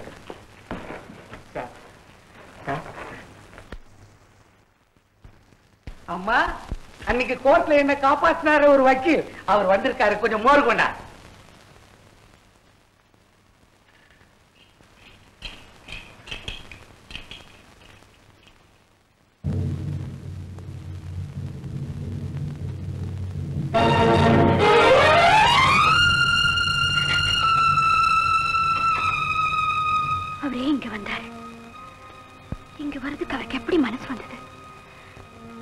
மறுபடி என் முகத்தை பார்க்க. அவருக்கு எப்படி தைரியம் வந்தது? புரிஞ்சுக்கிட்டேன்.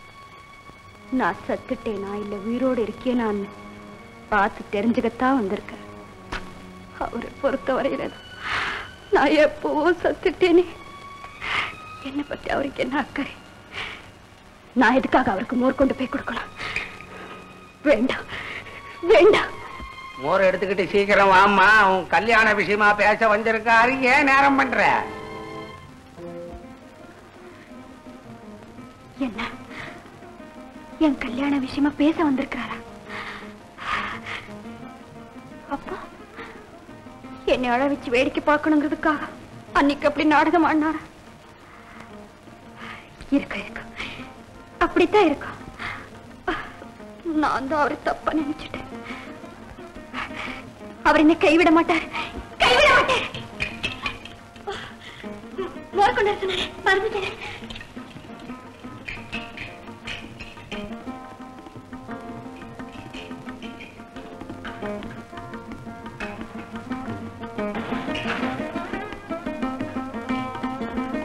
என்னால உங்களுக்கு ரொம்ப சிரமம். அப்படியெல்லாம் ஒண்ணு குடும்பம் சாப்பிடுங்க. இதான் நம்ம பொண்ணு.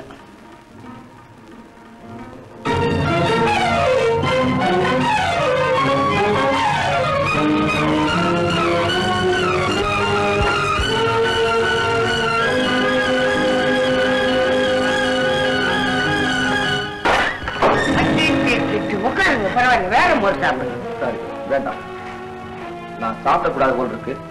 அதனால தான் தவறிடுச்சு நீங்க நாங்க அப்படி சொல்றீங்க? தவறுனா என்ன? மறுபடியும் கிடைக்காமையா போயிடும். அதான் இன்னொன்னு இருக்க. சும்மா சாப்பிடுங்க. அவர் இஷ்டம். பொண்ணுக்கு கல்யாணம் உபதேசம் பண்ணுங்க.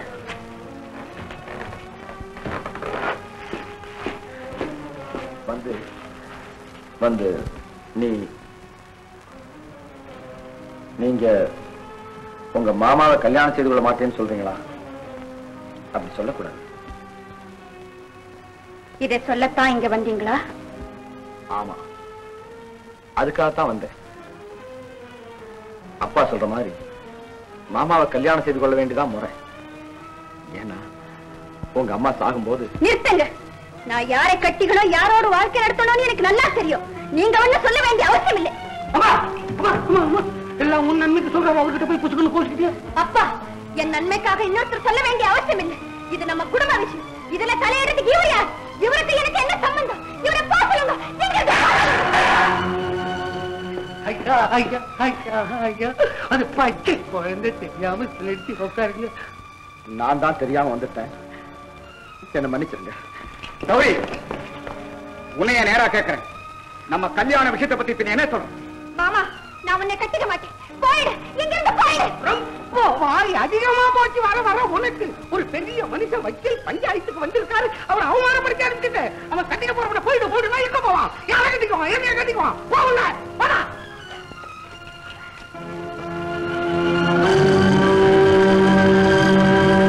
என்ன மச்சான் கௌரி எப்படி பேசுது பஞ்சாயத்து வந்த வக்கீலும் போயிட்டாரு.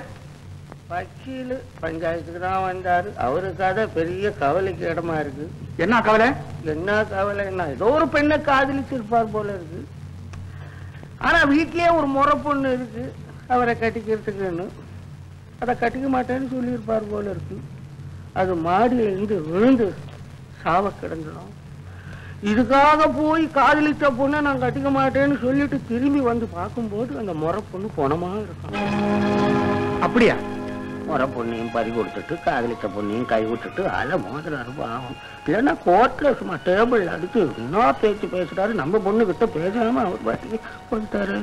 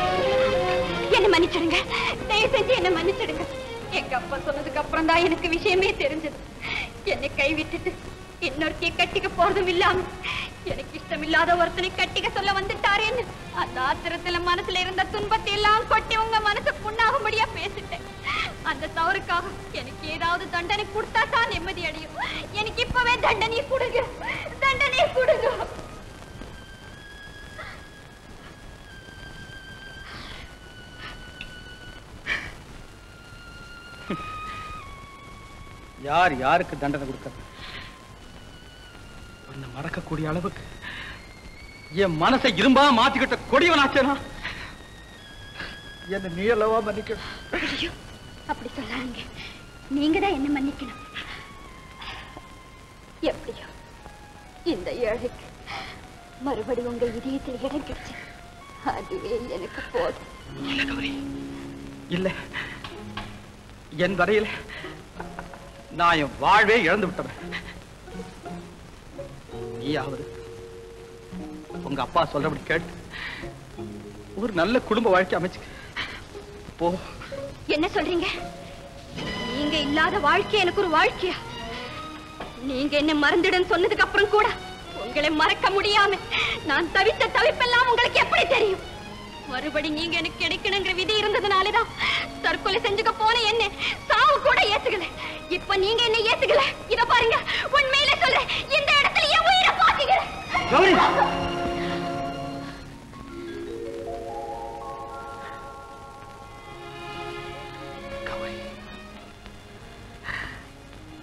உன் அன்புக்கு இவ்வளவு வலிமை உண்டுன்னு நான் நினைக்கவே இல்லை கௌரி. உன் வாஞ்சைக்கு முன்னால என் வைராக்கியம் தோத்துருச்சு.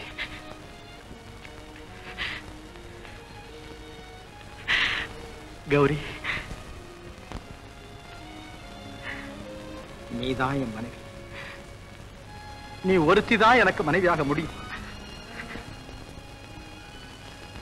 பேசவும் வேணுமா? பேசத்தான் வேணும். பேசு. கௌரி பேசு. நான் என்னத்தை பேசுறது? பேசுறதே தொழிலா வச்சிருக்கேன். வக்கீலா நீங்க ஏதாவது பேசுங்க அந்த சக்கரை பேச்சை கேட்டு நான் அப்படியே சொல்கிறேன். அப்பப்பா கொக்கி போட்டு இழுக்கிறீங்க. ஆ? எப்படியோ இலை உதிர்காலம் போய் வசந்த காலம் வந்துடுச்சு. வாடி போயிருந்த என் அழகு மலர் தோட்டம் இப்ப பூத்து குலுங்குது. அது எங்க பூத்து குலுங்குது? இங்கதான். அப்பா இப்போ என் மனசு எப்படி இருக்கு தெரியுமா? எப்படி இருக்கு?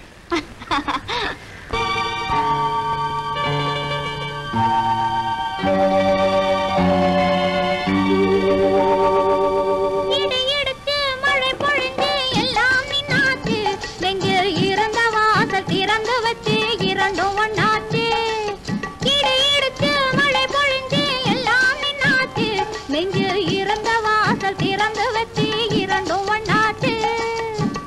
படிப்படியா வளர்ந்த ஆசை பக்குவம் ஆச்சு. இன்று பஞ்சாயத்தில் வந்த கோபம் பாதியில் போச்சு. படிப்படியா வளர்ந்த ஆசை பக்குவம் ஆச்சு. இன்று பஞ்சாயத்தில் வந்த கோபம் பாதியில் போச்சு.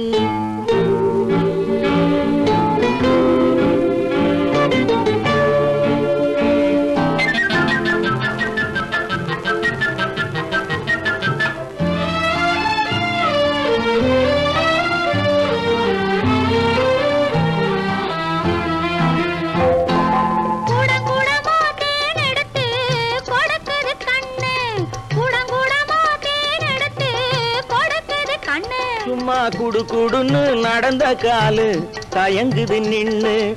குடு குடுன்னு நடந்த காலு தயங்குது நின்னு.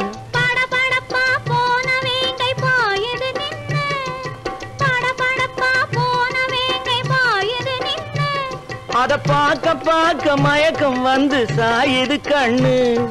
பார்க்க பார்க்க மயக்கம் வந்து சாயுது கண்ணு. நெஞ்சில் இருந்த வாசல் திறந்து வச்சு இரண்டும் ஒன்னாச்சு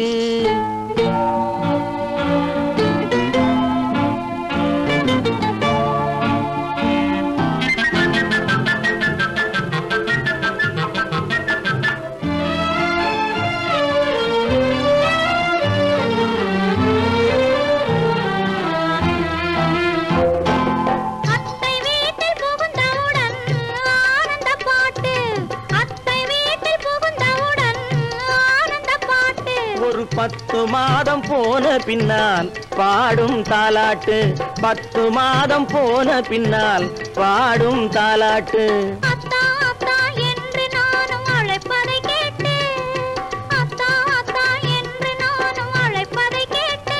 படு சத்தம் போட்டு குழந்தை பாடும் சங்கீத பாட்டு. படு சத்தம் போட்டு குழந்தை பாடும் சங்கீத பாட்டு.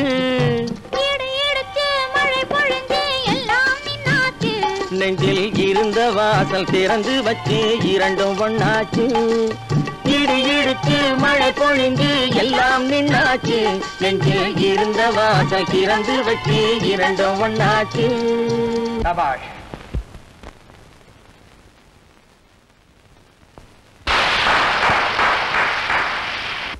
வக்கீலையா? ரொம்ப பிரமாதம். ரொம்ப நல்லா இருக்கும் உன் யோகியதை. அங்க பஞ்சாயத்து இங்க காதல் லீல.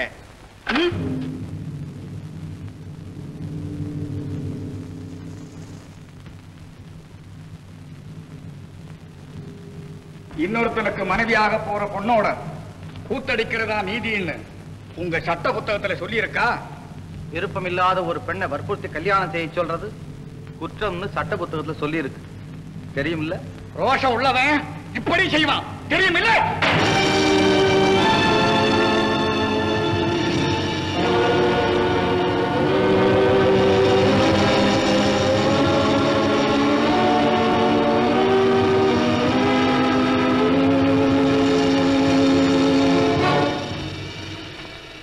முத்தையா கௌரியோ உன்னை விரும்பல. அதனால உன் வாழ்க்கைக்கு வேற துணையை தேடிக்க. வீணா நம்ம ரெண்டு பேரும் சண்டை போடுறதுல அர்த்தமே இல்லை. போ முத்தையா. போ.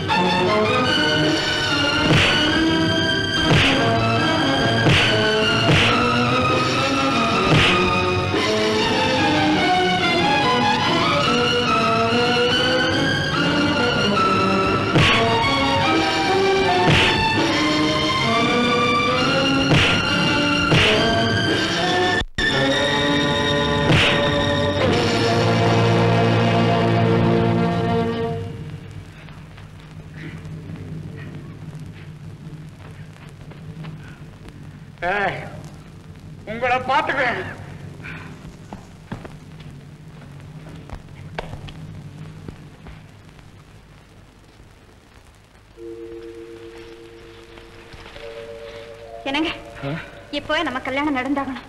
இல்லைன்னா மாமா எனக்கு தொல்லை கொடுத்துக்கிட்டே இருப்பா. இப்போ போய் அப்பா கிட்ட விஷயத்தை சொல்லிடுவோம். அது முறையில்ல. வீட்டுல பெரியவங்க இருக்கும்போது நான் வந்து கேட்டா அப்படி இருக்கும். நல்லா இல்லையே? ரெண்டு நாள் பொறுத்துக்க. எங்க அப்பாவை நேர்ல வந்து உங்க அப்பா கிட்ட பொண்ணு கேட்க முடியாது ஏற்பாடு செய்றேன் உண்மையா? இன்னுமா சந்தேகம். சரி இப்போ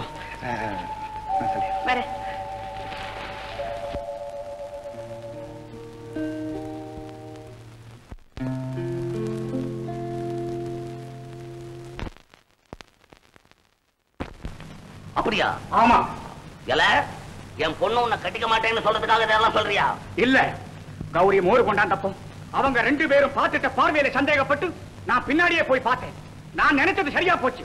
உனக்கு நம்பிக்கை இல்லைன்னா போய் பாரு. பாக்குறேன்டா இப்ப போய் பாக்குறேன் அப்படி ஏதாவது இல்ல கையை காலை வெட்டி கையில கொடுத்துருப்பேன் வா.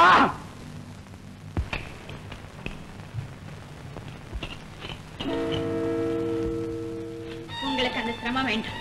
நானே வந்துட்டேன். கௌரி முத்தையன் சொன்னது? அத்தனை உண்மைதான். அப்பா.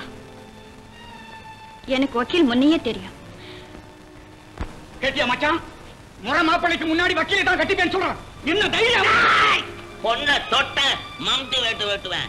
ஓஹோ அப்பாவும் மகன் ஒண்ணு சேர்ந்துட்டீங்களா? எங்க அக்காவுக்கு நீ கொடுத்த வாக்கு என்ன ஆகுறது? கொடுத்த வாக்கு படிதாண்டா எப்பவும் நடப்பேன். என் பொண்ணு ஒத்துக்கலைன்னா என்ன என்ன செய்ய சொல்றேன் இருக்கிறது ஒரே பொண்ணு. அதை அழ விட்டு என்ன வேடிக்கை பார்க்க சொல்றியா நீ? அப்போ முடிவுதான் என்ன? முடி பேசாம.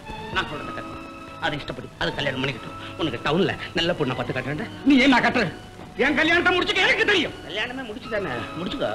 பெரிய இடத்து சம்பந்தம் கிடைக்க போகுதுங்கிற சந்தோஷத்துல வீணா என்ன விரோதம் பண்ணிக்காத. இந்த கல்யாணத்தை நான் நடக்க விட மாட்டேன். போடா என்ன பயமுறுத்த நான் பார்க்க பிறந்த பய மீசைய பிச்சு விடுவேன் மச்சான். மச்சான், என்ன? மச்சான்.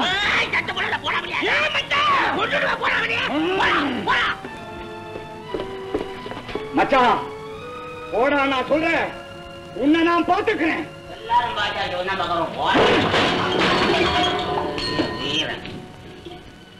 டேபிள் கிட்ட சண்டை போடுறேன். ஏமா பைத்தியக்கார புள்ளையா இருக்கிறீ வக்கீல் விஷயமா ஒரு வார்த்தை என் காதுல போட்டு வச்சிருக்க கூடாது? இல்லை நான் பாத்துக்கிறேன்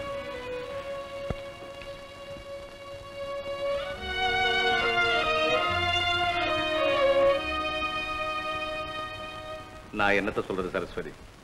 உன் புள்ள வந்த உடனே கேளு. ஏன்னா வாழ போறவன் அவன். அவனை கேட்டுட்டு முடிவு செய். அவன் என்னத்த கேட்கறது உங்க சம்மதம் தான் தேவை. இத பார் சரஸ்வதி. ஜெயா இறந்ததுக்கு அப்புறம் கோபால் கல்யாண விஷயத்துல அவனை கேட்டுக்காம நான் எந்த முடிவுக்கும் வரதுக்கு தயாரா இல்லை. நான் சொன்னா தம்பி மறுக்காதுன்னு நினைக்கிறேன். ரொம்ப நல்லதும்மா. அவன் சம்மதிச்சிட்டா அப்புறம் என்ன? இந்த மாசத்துலயே ஒரு நல்ல நாளா பார்த்து முகூர்த்தத்தை வச்சுக்குவோம் வணக்கம் ஐயா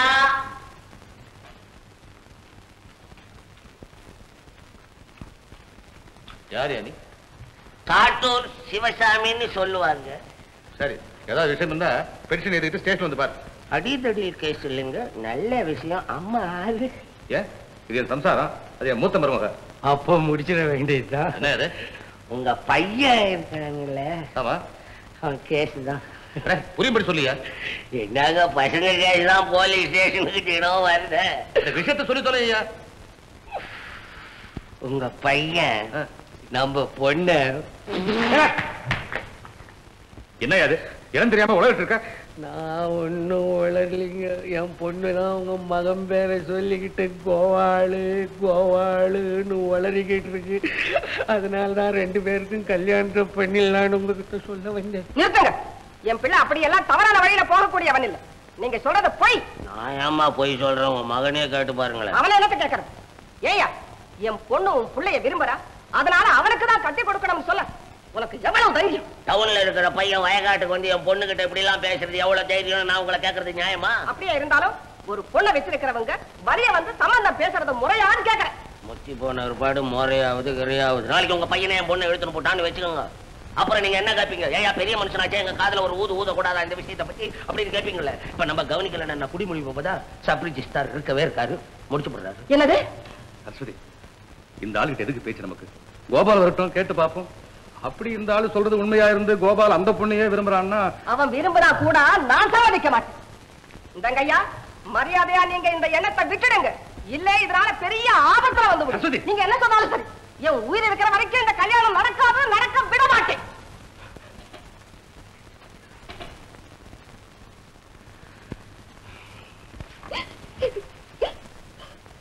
ஜானகி நீயே அழறு கோபாலுக்கும் பிரேமாவுக்கும் தான் கல்யாணம் நடக்கும். இது உறுதி. வாங்கய்யா எப்போ வந்தீங்க? இப்பதான் வந்தேன். உங்க மவனே வந்துட்டாரு. அவரை கேளுங்களேன். என்னப்பா? என்னமோ சொல்றாரு. இது ஃபேக்ட் எஸ் உண்மைதான். சாலு நீ போ. நாங்க பேசுறோம்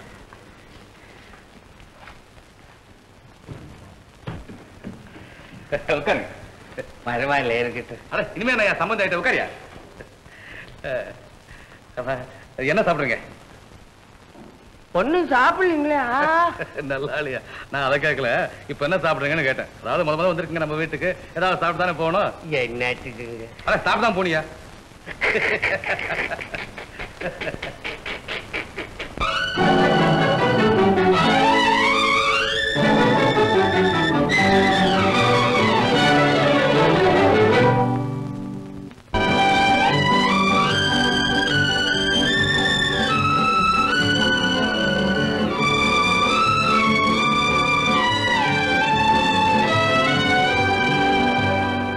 சிரித்தாலும் போதுமே. செவ்வானம் தோன்றுமே. பார்த்தாலும் போதுமே. பழச்சாறு ஊருமே சிரித்தாலும் போதுமே. செவ்வானம் தோன்றுமே.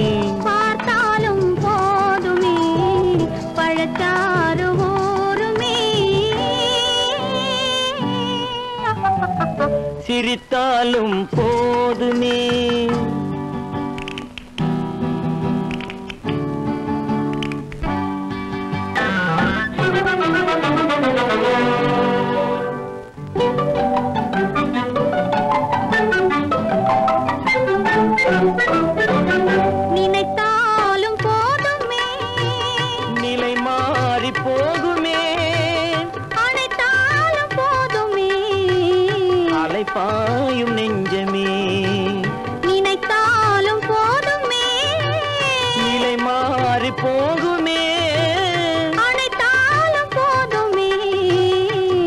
ah.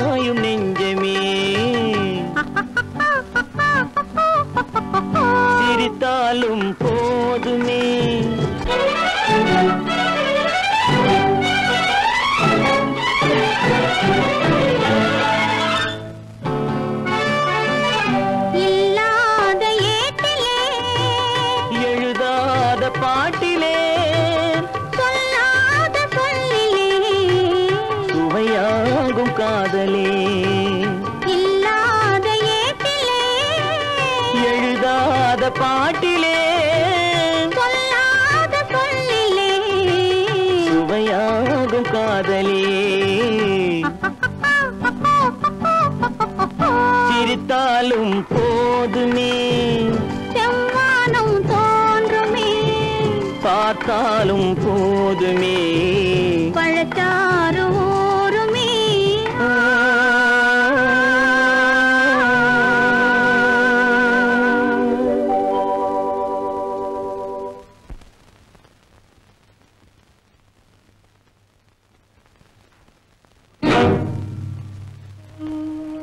யார் நீங்க?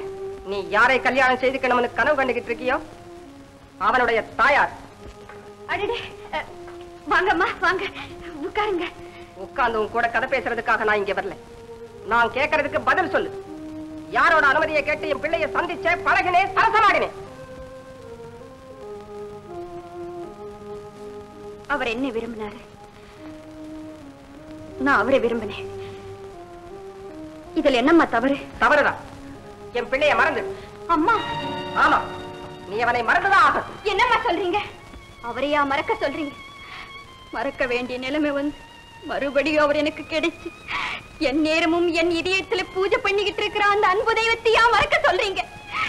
இந்த கேள்விக்கெல்லாம் இடமே கிடையாது. கோபாலை கட்டிக்கணுங்கிற உன் எண்ணத்தை எங்க குடும்ப நன்மைக்காக நீ தியாகம் செய்யத்தான் வேணும். அம்மா என்ன வேணும்னாலும் சொல்லுங்க. நான் அவரை கணவரா அடையணும். அதுதான் என் லட்சியம். சரி. என் பிள்ளைய கட்டிக்கணும்னா பல கஷ்டங்களை அனுபவிக்கிறதுக்கு நீ தயாரா இருக்கணும். இப்பவே தயாரா இருக்கேன். அவரை கல்யாணம் செய்துக்கிறதுக்காக எந்த கஷ்டத்தையும் அனுபவிப்பேன். அவரை கணவர் அடைய போற அந்த சந்தோஷத்துக்கு முன்னாலே இந்த கஷ்டம் எல்லாம் எனக்கு ஒரு தூசி அம்மா. தூசி. விட மாட்டேன். கடைசி முறையா கேட்கிறேன். உன் பொண்ணு எனக்கு கட்டி வைக்க போறியா இல்லையா? பெரிய மனுஷன். வாடா ஜெயில இருந்து எப்ப வந்த? போகும்போது வேட்டியோட போன வரும்போது கொடாவோட வர்ற இவனோட சேர்ந்துட்டியா? ஊர் உருப்பிட்ட மாதிரி தான் வீணா அழிஞ்சு போயிடாது. பேசாம உன் பொண்ணு கௌரிய உன் மச்சானுக்கே கட்டி வைக்கணும். இல்ல? அவன் எங்க இல்ல? என்னடா இல்ல? அவனுக்கு கட்டி வை நீ சொந்தமாடா? இல்லன்னா என்னடா சிவ சாண்டோன்னு நினைச்சுக்கிட்டா? டேய் உன்ன ஒரு குத்து அவன ஒரு குத்து பாக்குறியா? சாண்டா தான் விட்டுறா சாண்டா தான் விட்டுறா சாண்டா தான் அவன்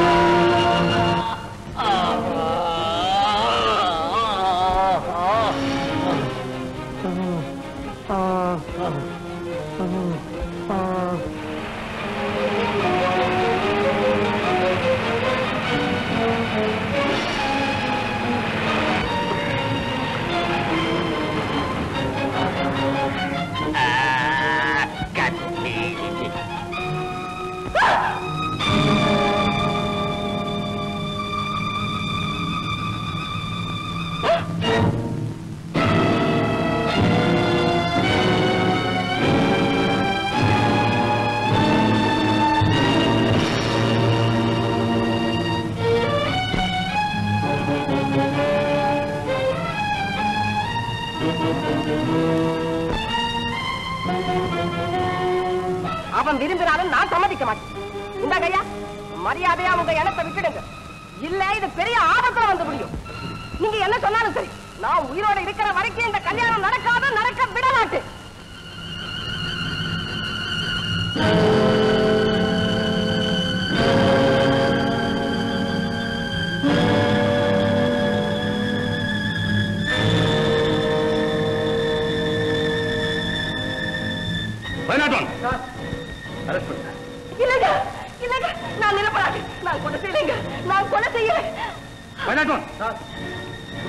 கடவுளே கடவுளே எனக்கா இந்த சோதனை. அம்மா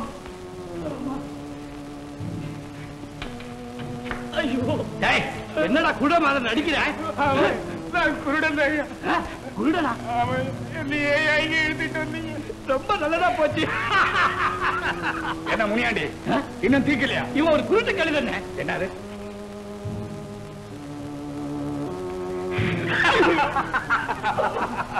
அண்ணே இந்த குருடனால நமக்கு எந்த ஆபத்து வராது. இப்பவே கொண்டு போய் வெளியில தூக்கி போட்டு வந்துடுறேன் முனியாண்டி இல்ல. சிறு துரும்பும் பல்லு குத்த உதவும் சொல்லுவாங்க. கேஸ் முடிகிற வரைக்கும். இவனை இங்க எங்கேயாவது ஒரு அறையில் அடைச்சு வைப்போம். அதுவும் சரிதான்.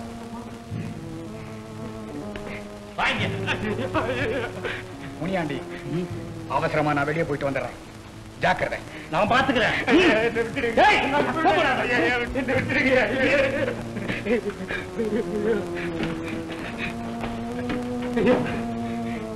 ஹலோ. கோபால் பேசுறேன். அண்ணனா? என்னண்ணா சமாச்சாரம்? அம்மா? அம்மா?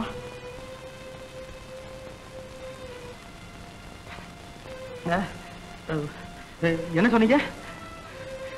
அம்மா கொலை செய்தாங்களா? சிவசாமியா யார் கட்டிவிட்ட கதை இது? அப்பதான் பார்த்தாரா? அப்பாவை அரெஸ்ட் பண்ணாரா அம்மாவே அப்பாவே அரெஸ்ட் பண்ணாரா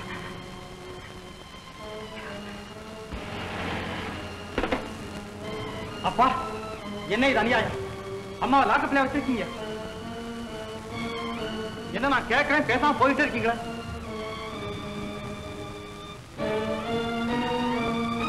அப்பா அம்மா கொலை செய்த நீங்க பாத்தீங்களா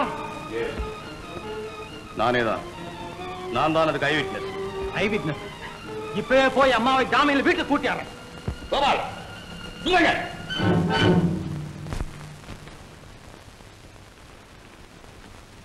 அவ ஒரு குற்றவாளி கொலைகாரி.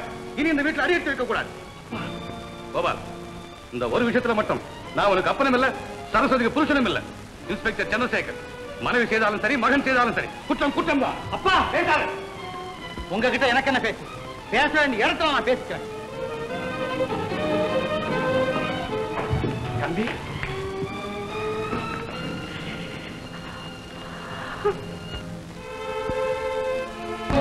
அப்படியா? ஏன் சார்? பணம் இப்ப எங்க இருக்கு? ஆஸ்பத்திரியில பிரேத பரிசோதனை நடந்துட்டு கௌரி!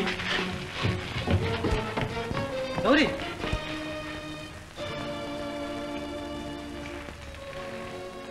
என்ன இப்படி பாக்குற எங்க அப்பாவை கொன்னு என்னை அனாதை ஆக்கணும்னு உங்க அம்மா எத்தனை நாளா காத்துக்கிட்டு இருந்தாங்க? கௌரி! நான் உங்களை விரும்பினது குற்றம் அண்ணா. அந்த குற்றத்துக்காக என்னைத்தான் தண்டிக்கணும். அதை விட்டுட்டு ஒண்ணும் தெரியாத எங்க அப்பாவை கொலை செஞ்சதுனால உங்க அம்மாவுக்கு என்ன லாபம் வந்துடுச்சு? யாரோ ஒன்னு தூண்டி விட்டுருக்காங்க. கௌரி இதோ பார். பிரிஞ்சு சேர்ந்திருக்கோம். மறுபடியும் நமக்குள்ள ஒரு பிளவு வேண்டாம். போதும். கொலைகார குடும்பத்துல பிறந்த உங்களோட எனக்கு என்ன பேச்சு? உங்க சகவாசமே எனக்கு வேண்டாம். கௌரி அவசரப்பட்டு எந்த முடிவுக்கும் வராது. என்னை நம்பு. எங்க அம்மா இந்த காரியத்தை செய்திருக்கவே முடியாது. அவங்கள பத்தி உனக்கு சரியா தெரியாது கௌரி. எனக்கு நல்லா தெரியும். இப்படிப்பட்ட கொலைபாதகம் செய்த உங்க அம்மா ஒரு பெண் இல்ல ராட்சசி.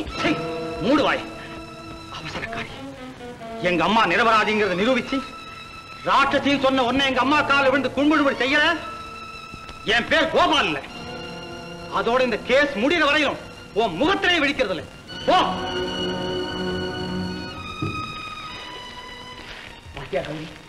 மகா பயங்கரமானவன் நாளை குண்ணியை கொண்டாலும் கொண்டுடுவான். இன்னொரு அவனை மறந்து வா ஆஸ்பத்திரிக்கு போலாம்.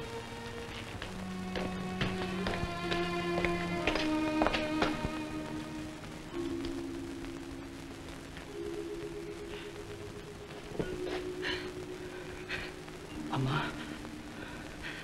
அம்மா.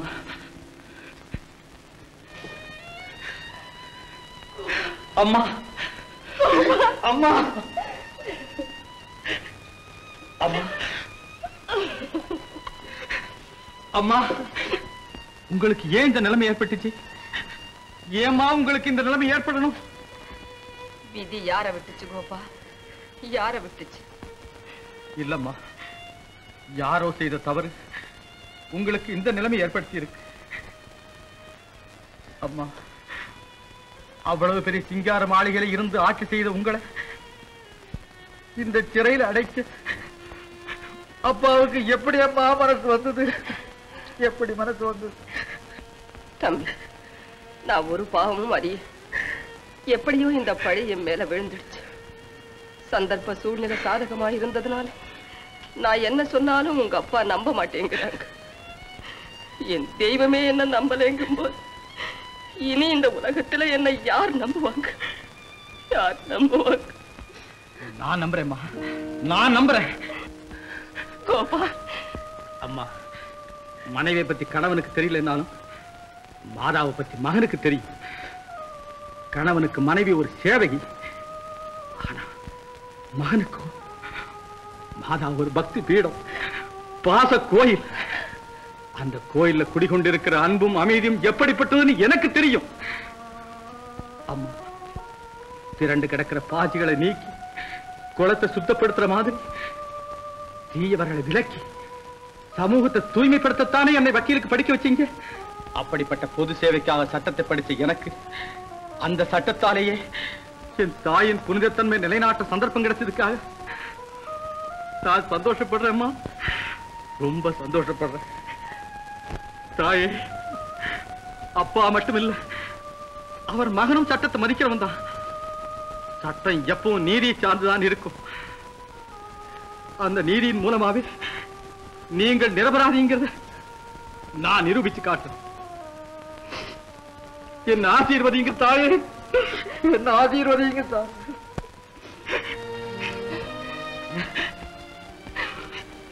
மகனே சத்தியம் வெல்லட்டும் நீதி நிலைக்கட்டும் நீதி நிலைக்கட்டும்.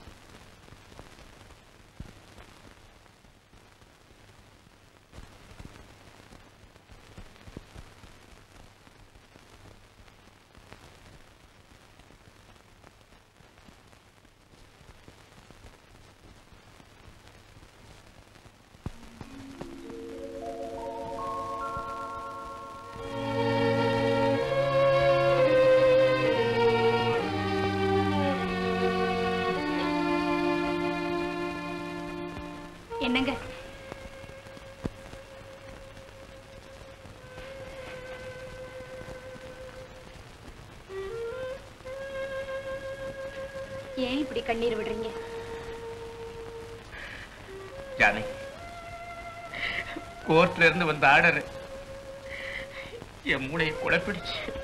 அம்மாவுக்கு எதிரா வாதாடி இந்த கேஸ நான் எப்படி நடத்துவேன்? எப்படி நடத்துவேன்?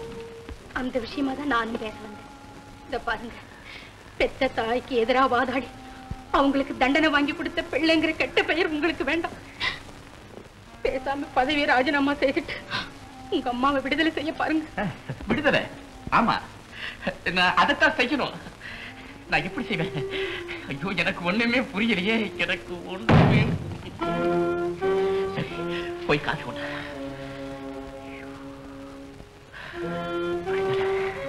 நான் இப்படி செய்வேன்.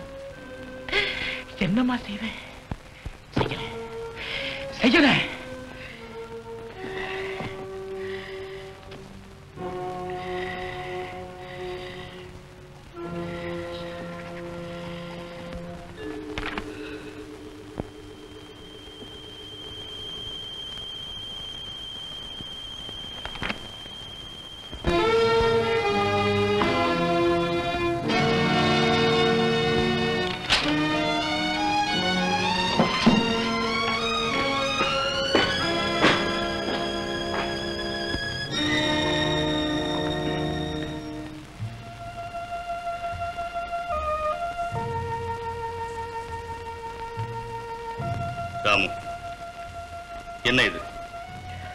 ராஜான லெட்டர் தெரியுது. ஏன் இந்த முடிவு? அப்பா அம்மாவுக்கு எதிரா என்னால வாதாட முடியாது.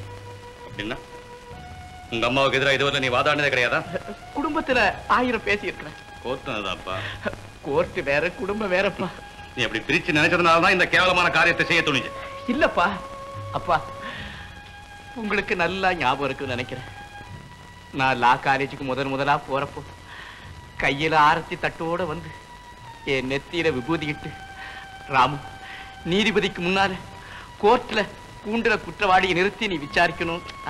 அதை பார்த்து நான் ஆனந்தப்படணும்னு எந்த அம்மா சொன்னாங்களோ? அந்த அம்மாவை அதே கோர்ட்ல அதே குண்டுல நிறுத்தி நான் எப்படி அப்பா விசாரிப்பேன்? நான் எப்படி விசாரிப்பேன்.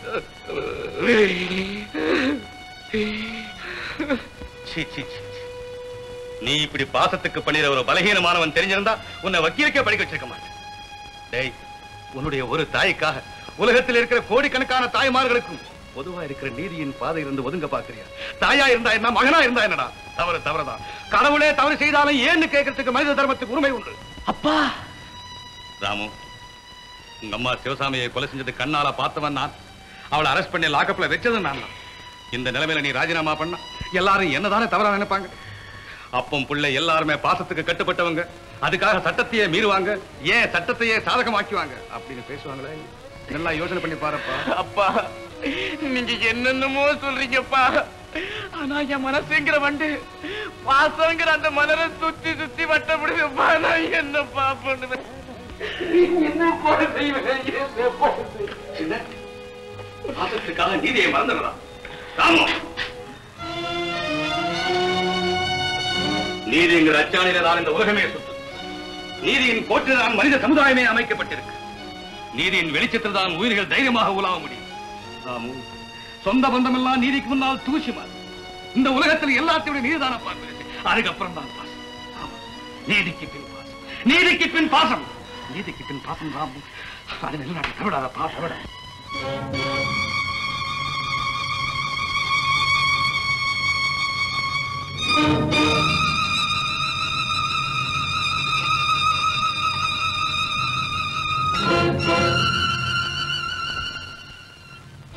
அப்பா உங்க வார்த்தைகளின் உள்ளத்தை தொட்டடிச்சு. எனக்கு உணர்ச்சி உண்டாயிருச்சு. இனி பந்த பாசத்துக்கு அப்பாற்பட்ட ஒரு நீதி இயந்திரமான நான் நீதிக்கு பின் பாசம்ங்கிறத நிலைநாட்டி காட்டுறேன். கடிதத்தை குடுங்கப்பா குடுங்கப்பா கடிதத்தை. சேவாஷ் ராமு சேவாஷ் கேரியான்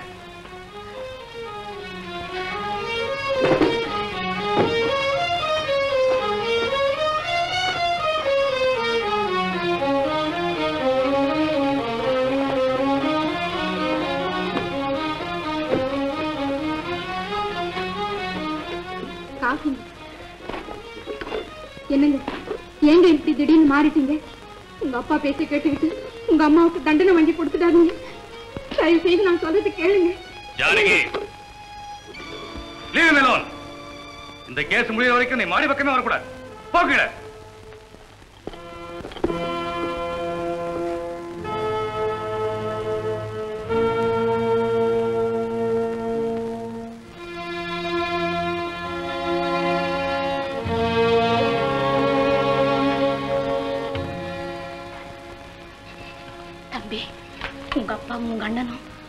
அம்மாவுக்கு எதிராயிட்டாங்க.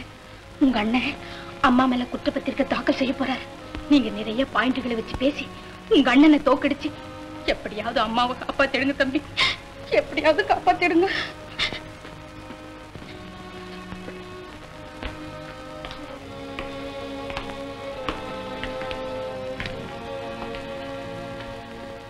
தம்பி நான் ராஜினாமா செய்ய போறதில்ல.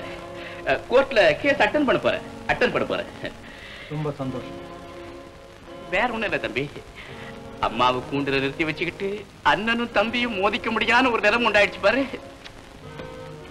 அதை நினைச்சுதான் நான் ரொம்ப வருத்தப்படுறேன்.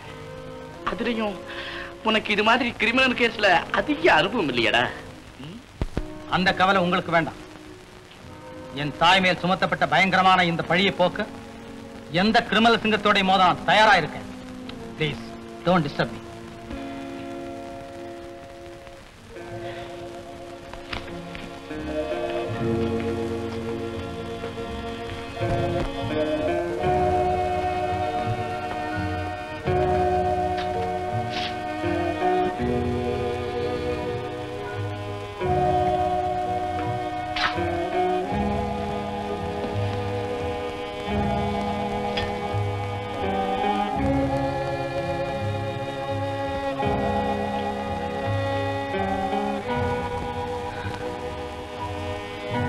அபிப்பிராய பேதம் ஏற்பட்டது. அப்படித்தானே? ஆமாம்.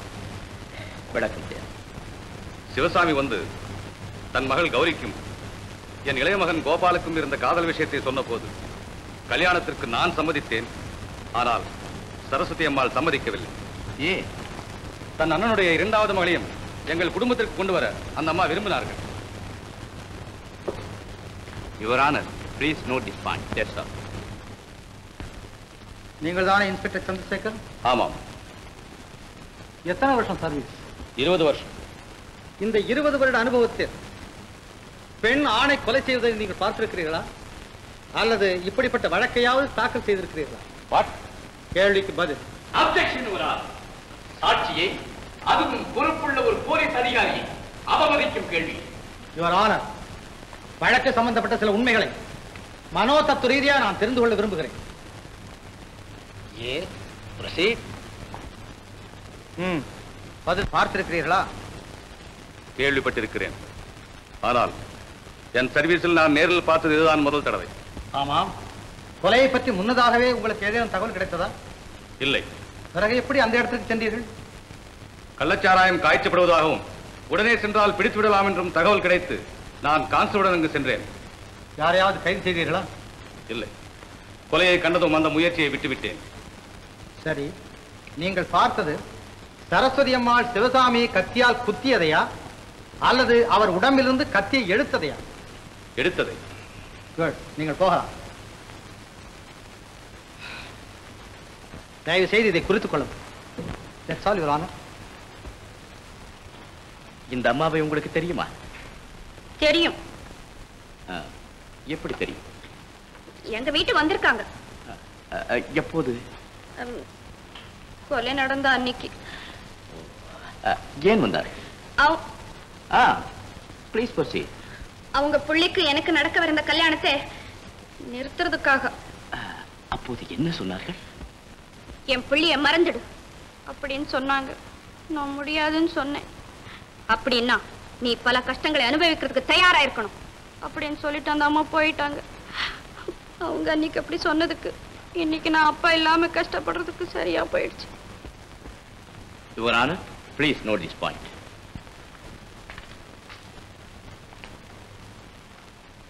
அன்று அவர்கள் அப்படி சொன்னதற்கும் இன்று அப்பா இல்லாமல் கஷ்டப்படுவதற்கும் சரியா போய்விட்டது என்று சொன்னீர்களே?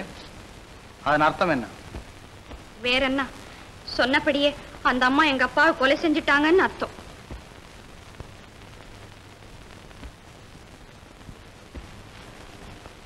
ஆமாம் சரஸ்வதி அம்மாளின் விருப்பத்திற்கு மாறாக நீங்கள் அவர் மகனே கல்யாணம் செய்து கொண்டதாக வைத்துக் கொள்வோம்.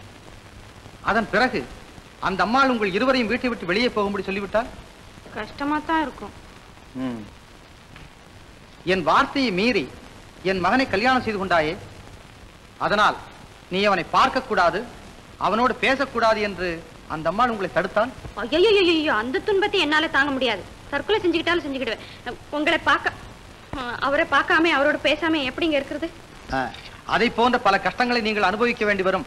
என்ற அர்த்தத்தில் அப்படி அவர் சொல்லியிருக்கலாம் அல்லவா? ஆமா அப்படிதான் சொல்லியிருக்கணும். குட் நீங்க போகலாம். Your honour please note this point that's all mister Gopal நீங்கள் விசாரிக்க வேண்டிய சாட்சி யாராவது இருக்கிறார்களா? Yes your honour doctor Krishnaveni Ammal. நீங்கள் தானே டாக்டர் கிருஷ்ணவேணி அம்மாள் ஆமா. இந்த அம்மாளை உங்களுக்கு தெரியுமா? நல்லா தெரியும். எப்படி தெரியும்? அவங்களும் ஒரு லேடி டாக்டர். அந்த முறையில எங்க ரெண்டு பேருக்கும் பழக்கம். அவங்க பாக்குற கேஸ்ல ஆபரேஷன் கேஸா இருந்தா எனக்கு ஃபோன் பண்ணுவாங்க.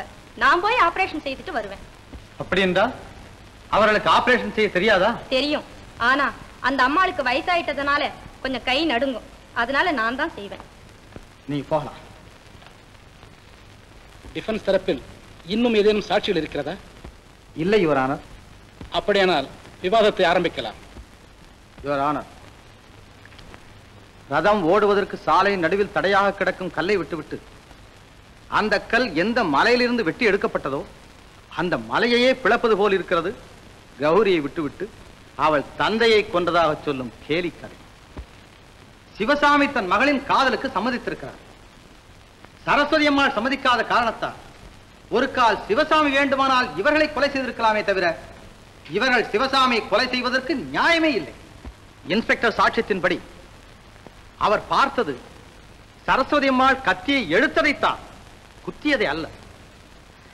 டாக்டர் கிருஷ்ணவேணி அம்மாளின் சாட்சியத்தின்படி ஆயுதத்தை பிடிக்கவே கை நடுங்குகின்ற சரஸ்வதி அம்மாள் சிவசாமியின் முதுகில் மூன்றங்குல ஆழத்திற்கு பலமாக குத்தினார் என்றார்.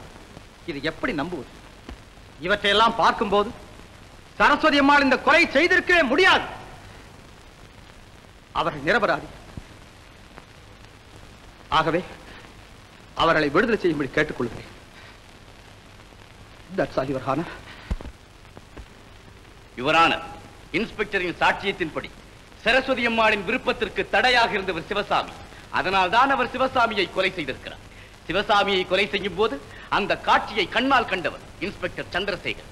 கத்தியில் இருந்து எடுக்கப்பட்ட ரேகையும் சரஸ்வதி அம்மாளின் வலதுகை ரேகையும் ஒரே மாதிரியாக இருப்பதாக ரேகை நிபுணர்களால் நிச்சயிக்கப்பட்டிருக்கிறது. அது மட்டுமல்ல டாக்டர் கிருஷ்ணவேணியின் சாட்சியத்தின்படி ஆயுதத்தை தொடுவதற்கே கை நடுங்குகின்ற சரஸ்வதி அம்மாள் மூன்று அங்கு ஆழம் பதிந்திருந்த கத்தியை எடுப்பதற்கு மட்டும் எங்கிருந்து பலம் பெற்றார் சரஸ்வதி அம்மாள் சிவசாமியை ஒருமுறை குத்திவிட்டு மீண்டும் குத்துவதற்காக கத்தியை எடுத்திருக்கிறார் அதை இன்ஸ்பெக்டர் பார்த்திருக்கிறார். கத்தி கைரேகை கல்யாண சம்பந்தப்பட்ட ஊர்ஜிதப்படுத்துகிறது. ஆகவே கிபிகோ முன்னூத்தி இரண்டாவது செக்ஷன் படி இவருக்கு தண்டனை அளிக்க வேண்டும் என்று கேட்டுக்கொள்கிறேன்.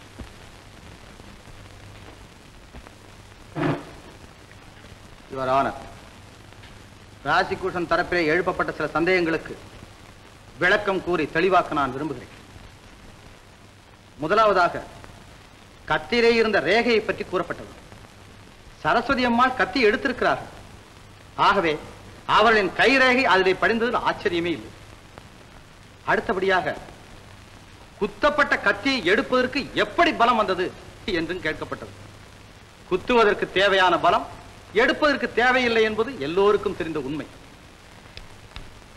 சரஸ்வதி அம்மாள் ஒரு டாக்டர்.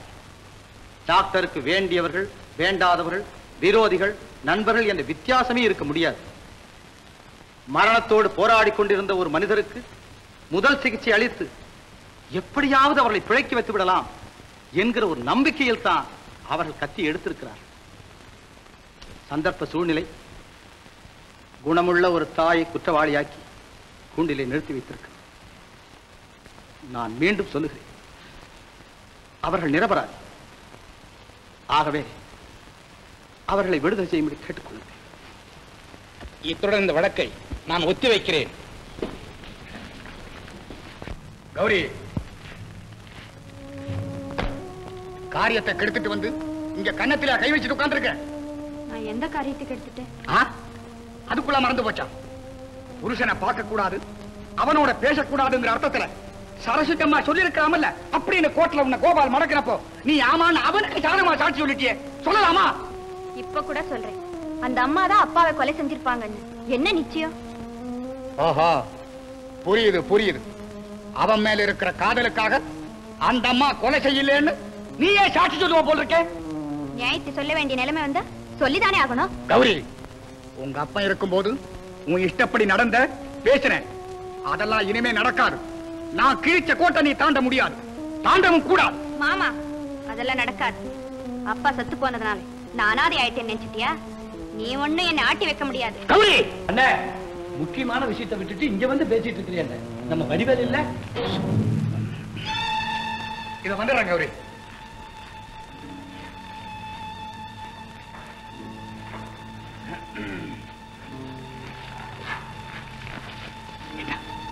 வடிவேல கத்தி துப்பாக்கி எல்லாம் ஆற விட்டான். அவன் பணத்தோட வந்து காத்துக்கிட்டு இருக்கிறாங்க இந்த வரை சதா சதா காரியம் முக்கியம் வான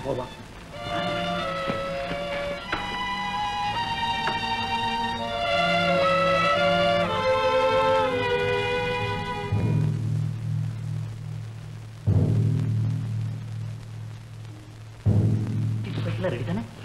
அதெல்லாம் எப்பவே ரெடி. நீதான் வரல ஆ, இருட்டினதுக்கு அப்புறம் வண்டியோட வந்து எல்லா சாமான் எடுத்துட்டு போயிடு. சரிங்க அதெல்லாம் நான் பாத்துக்கிறேன்.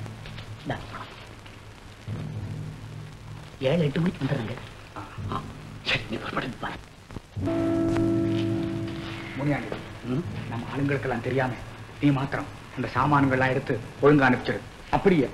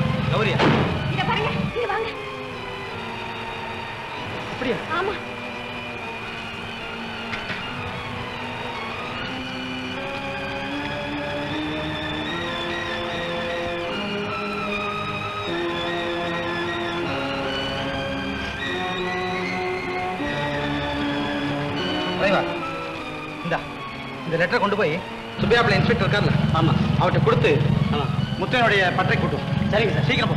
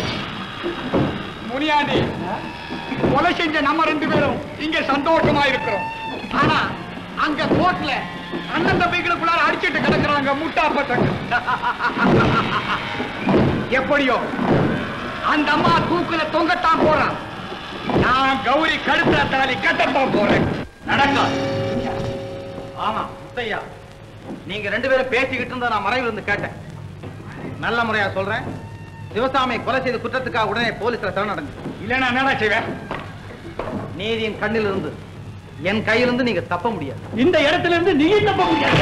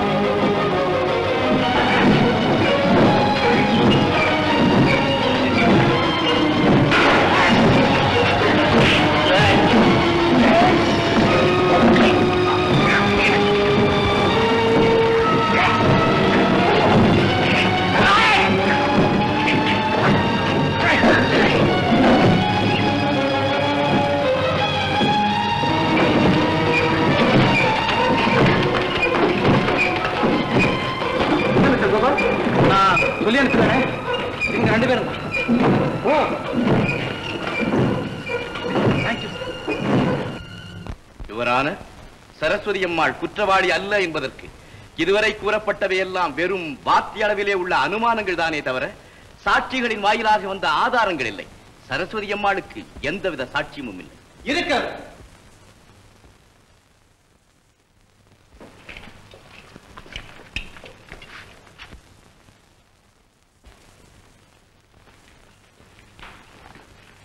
யுவர் ஆனர் சிவசாமி கொலை செய்தது முத்தையன். அதற்கு குழந்தையாயிருந்தவர் முனியாண்டி. அந்த கொலையை நேரில் பார்த்தவர் இவர்தான். சிஆர்பிசி ஐநூத்தி நாற்பதாவது செக்ஷன் படி இவரை கோர்ட் வித்தஸாக விசாரிக்கும்படி கேட்டுக்கொள்கிறேன். குருடன் போல இருக்கு. ஆமா குருடனே தான் வேடிக்கையாக இருக்கிறது யுவரான ஒரு குருடனை ஐ விட்னஸாக கொண்டு வந்து நிறுத்தும் அதிசயத்தை இப்போதுதான் நான் முதன்முறையாக பார்க்கிறேன். நினைத்தாலே சிரிப்பு வருகிறது. கொலை நடந்ததை கண்ணால் பார்த்தவன் ஒரு குருடன். ஐ விட்னஸ் என்று அழைக்கப்படுகின்றவன் இரண்டு கண்களும் இல்லாத ஒரு குருடன். குருடன்? யார் குருடன்? ஐயோ யுவர் ஆனர் உண்மையிலே இந்த சாட்சி குருடராக இருந்தால் நான் கண்ணாடி குண்டை கையிலே எடுத்ததை எரிந்ததை இவரால் எப்படி பார்க்க முடிந்தது?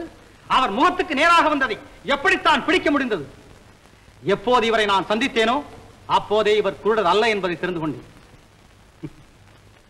நல்ல கண் பார்வையுள்ள ஒருவரை குருடர் என்று சொல்லும் அதிசயத்தை இப்போதுதான் நான் முதல் முதலாக பார்க்கிறேன்.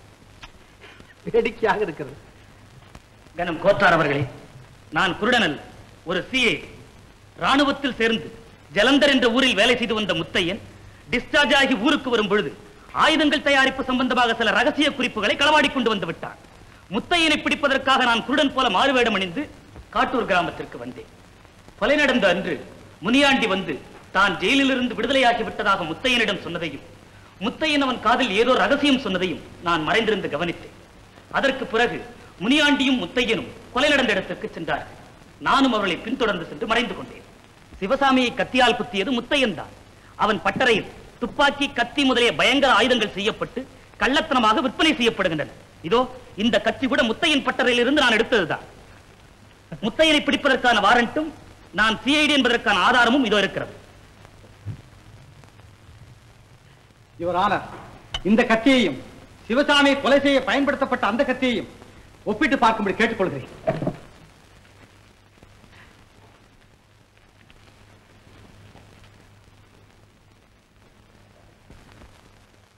ஆம் இரண்டு கட்சிகளும் ஒரே மாதிரியாகத்தான் இருக்கின்றன. இந்த வழக்கை விசாரித்த வகையில் சிவசாமியை கொலை செய்தது முத்தையன்தான் என்பது தக்க சாட்சியங்களுடன் நிரூபிக்கப்பட்டு விட்டது. ஆகவே சரஸ்வதி அம்மாள் நிரபராதி என்று முடிவு செய்து அவரை விடுதலை செய்கிறேன். இந்த வழக்கில் தன் மனைவி என்றும் பாராமல் சட்டப்படி அவரை கைது செய்த இன்ஸ்பெக்டர் சந்திரசேகர் அவர்களையும் சரஸ்வதி அம்மாள் தன்னை பெற்ற தாயாக இருந்தும் சட்டப்படி ஒரு அரசாங்க வக்கீல் செய்ய வேண்டிய கடமையில் இருந்தும் மாறாமல் விவாதம் புரிந்த ராமு அவர்களையும் தந்தை தமையன் என்றும் பாராமல் தன் தாயின் விடுதலைக்காக விவாதம் புரிந்த வக்கீல் கோபால் அவர்களையும் நான் மனதார பாராட்டுகிறேன். இந்த குழுமி பாசத்திற்கு அப்பாற்பட்டு நீதிக்கு பின் பாசம் என்பதை நிலைநாட்டி விட்டார்கள்.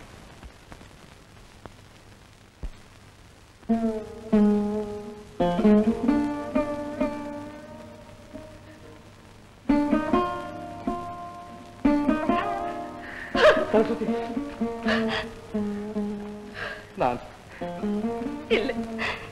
என் தெய்வத்துக்கு தெரியாம கௌரி வீட்டுக்கு போன குற்றத்துக்காக நான் கூட்டு நிற்கும்படி ஆயிட்டு என் வாழ்க்கையில நான் செய்த தவறு இது ஒண்ணுதான். என்ன மன்னிச்சிடுங்க. இல்ல சார் என் கடமையை நான் செஞ்சேன். அதனால நீ பாதிக்கப்பட்டு ராமு! ராமு! என்ன மன்னிச்சிடுமா? நீ என்ன மன்னிச்சிடுமா? இல்லப்பா இல்லை. உன் கடமைத்தான் நீ அதுல தவறு இல்லை. கோபா! கோபா! கோபா! அம்மா! கோபா! அம்மா! அம்மா! அம்மா! அம்மா! அம்மா! இல்ல இல்லப்பா இல்ல. எங்க அம்மா. பக்கத்து மாதிரி பக்கத்துக்கு.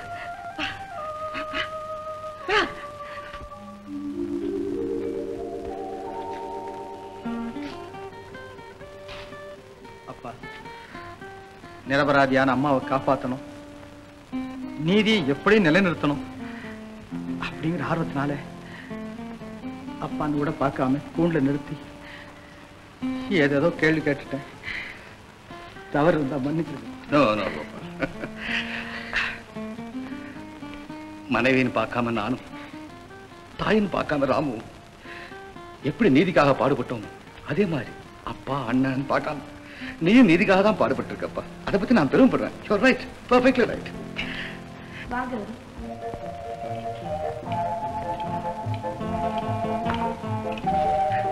மகராஜியா இருமா.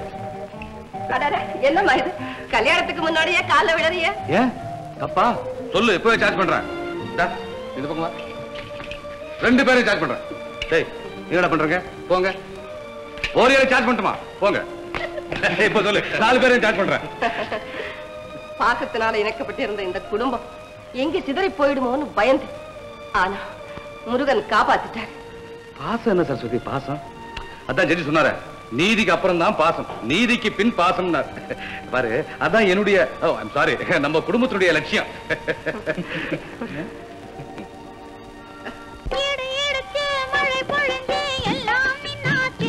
நெஞ்சில் இருந்த வாசல் திறந்து வச்சு இரண்டும் ஒண்ணாச்சு. இடி இடிச்சு மழை பொழிந்து எல்லாம் நின்னாச்சு. நெஞ்சில் இருந்த வாசல் திறந்து வச்சு இரண்டும் ஒண்ணாச்சு.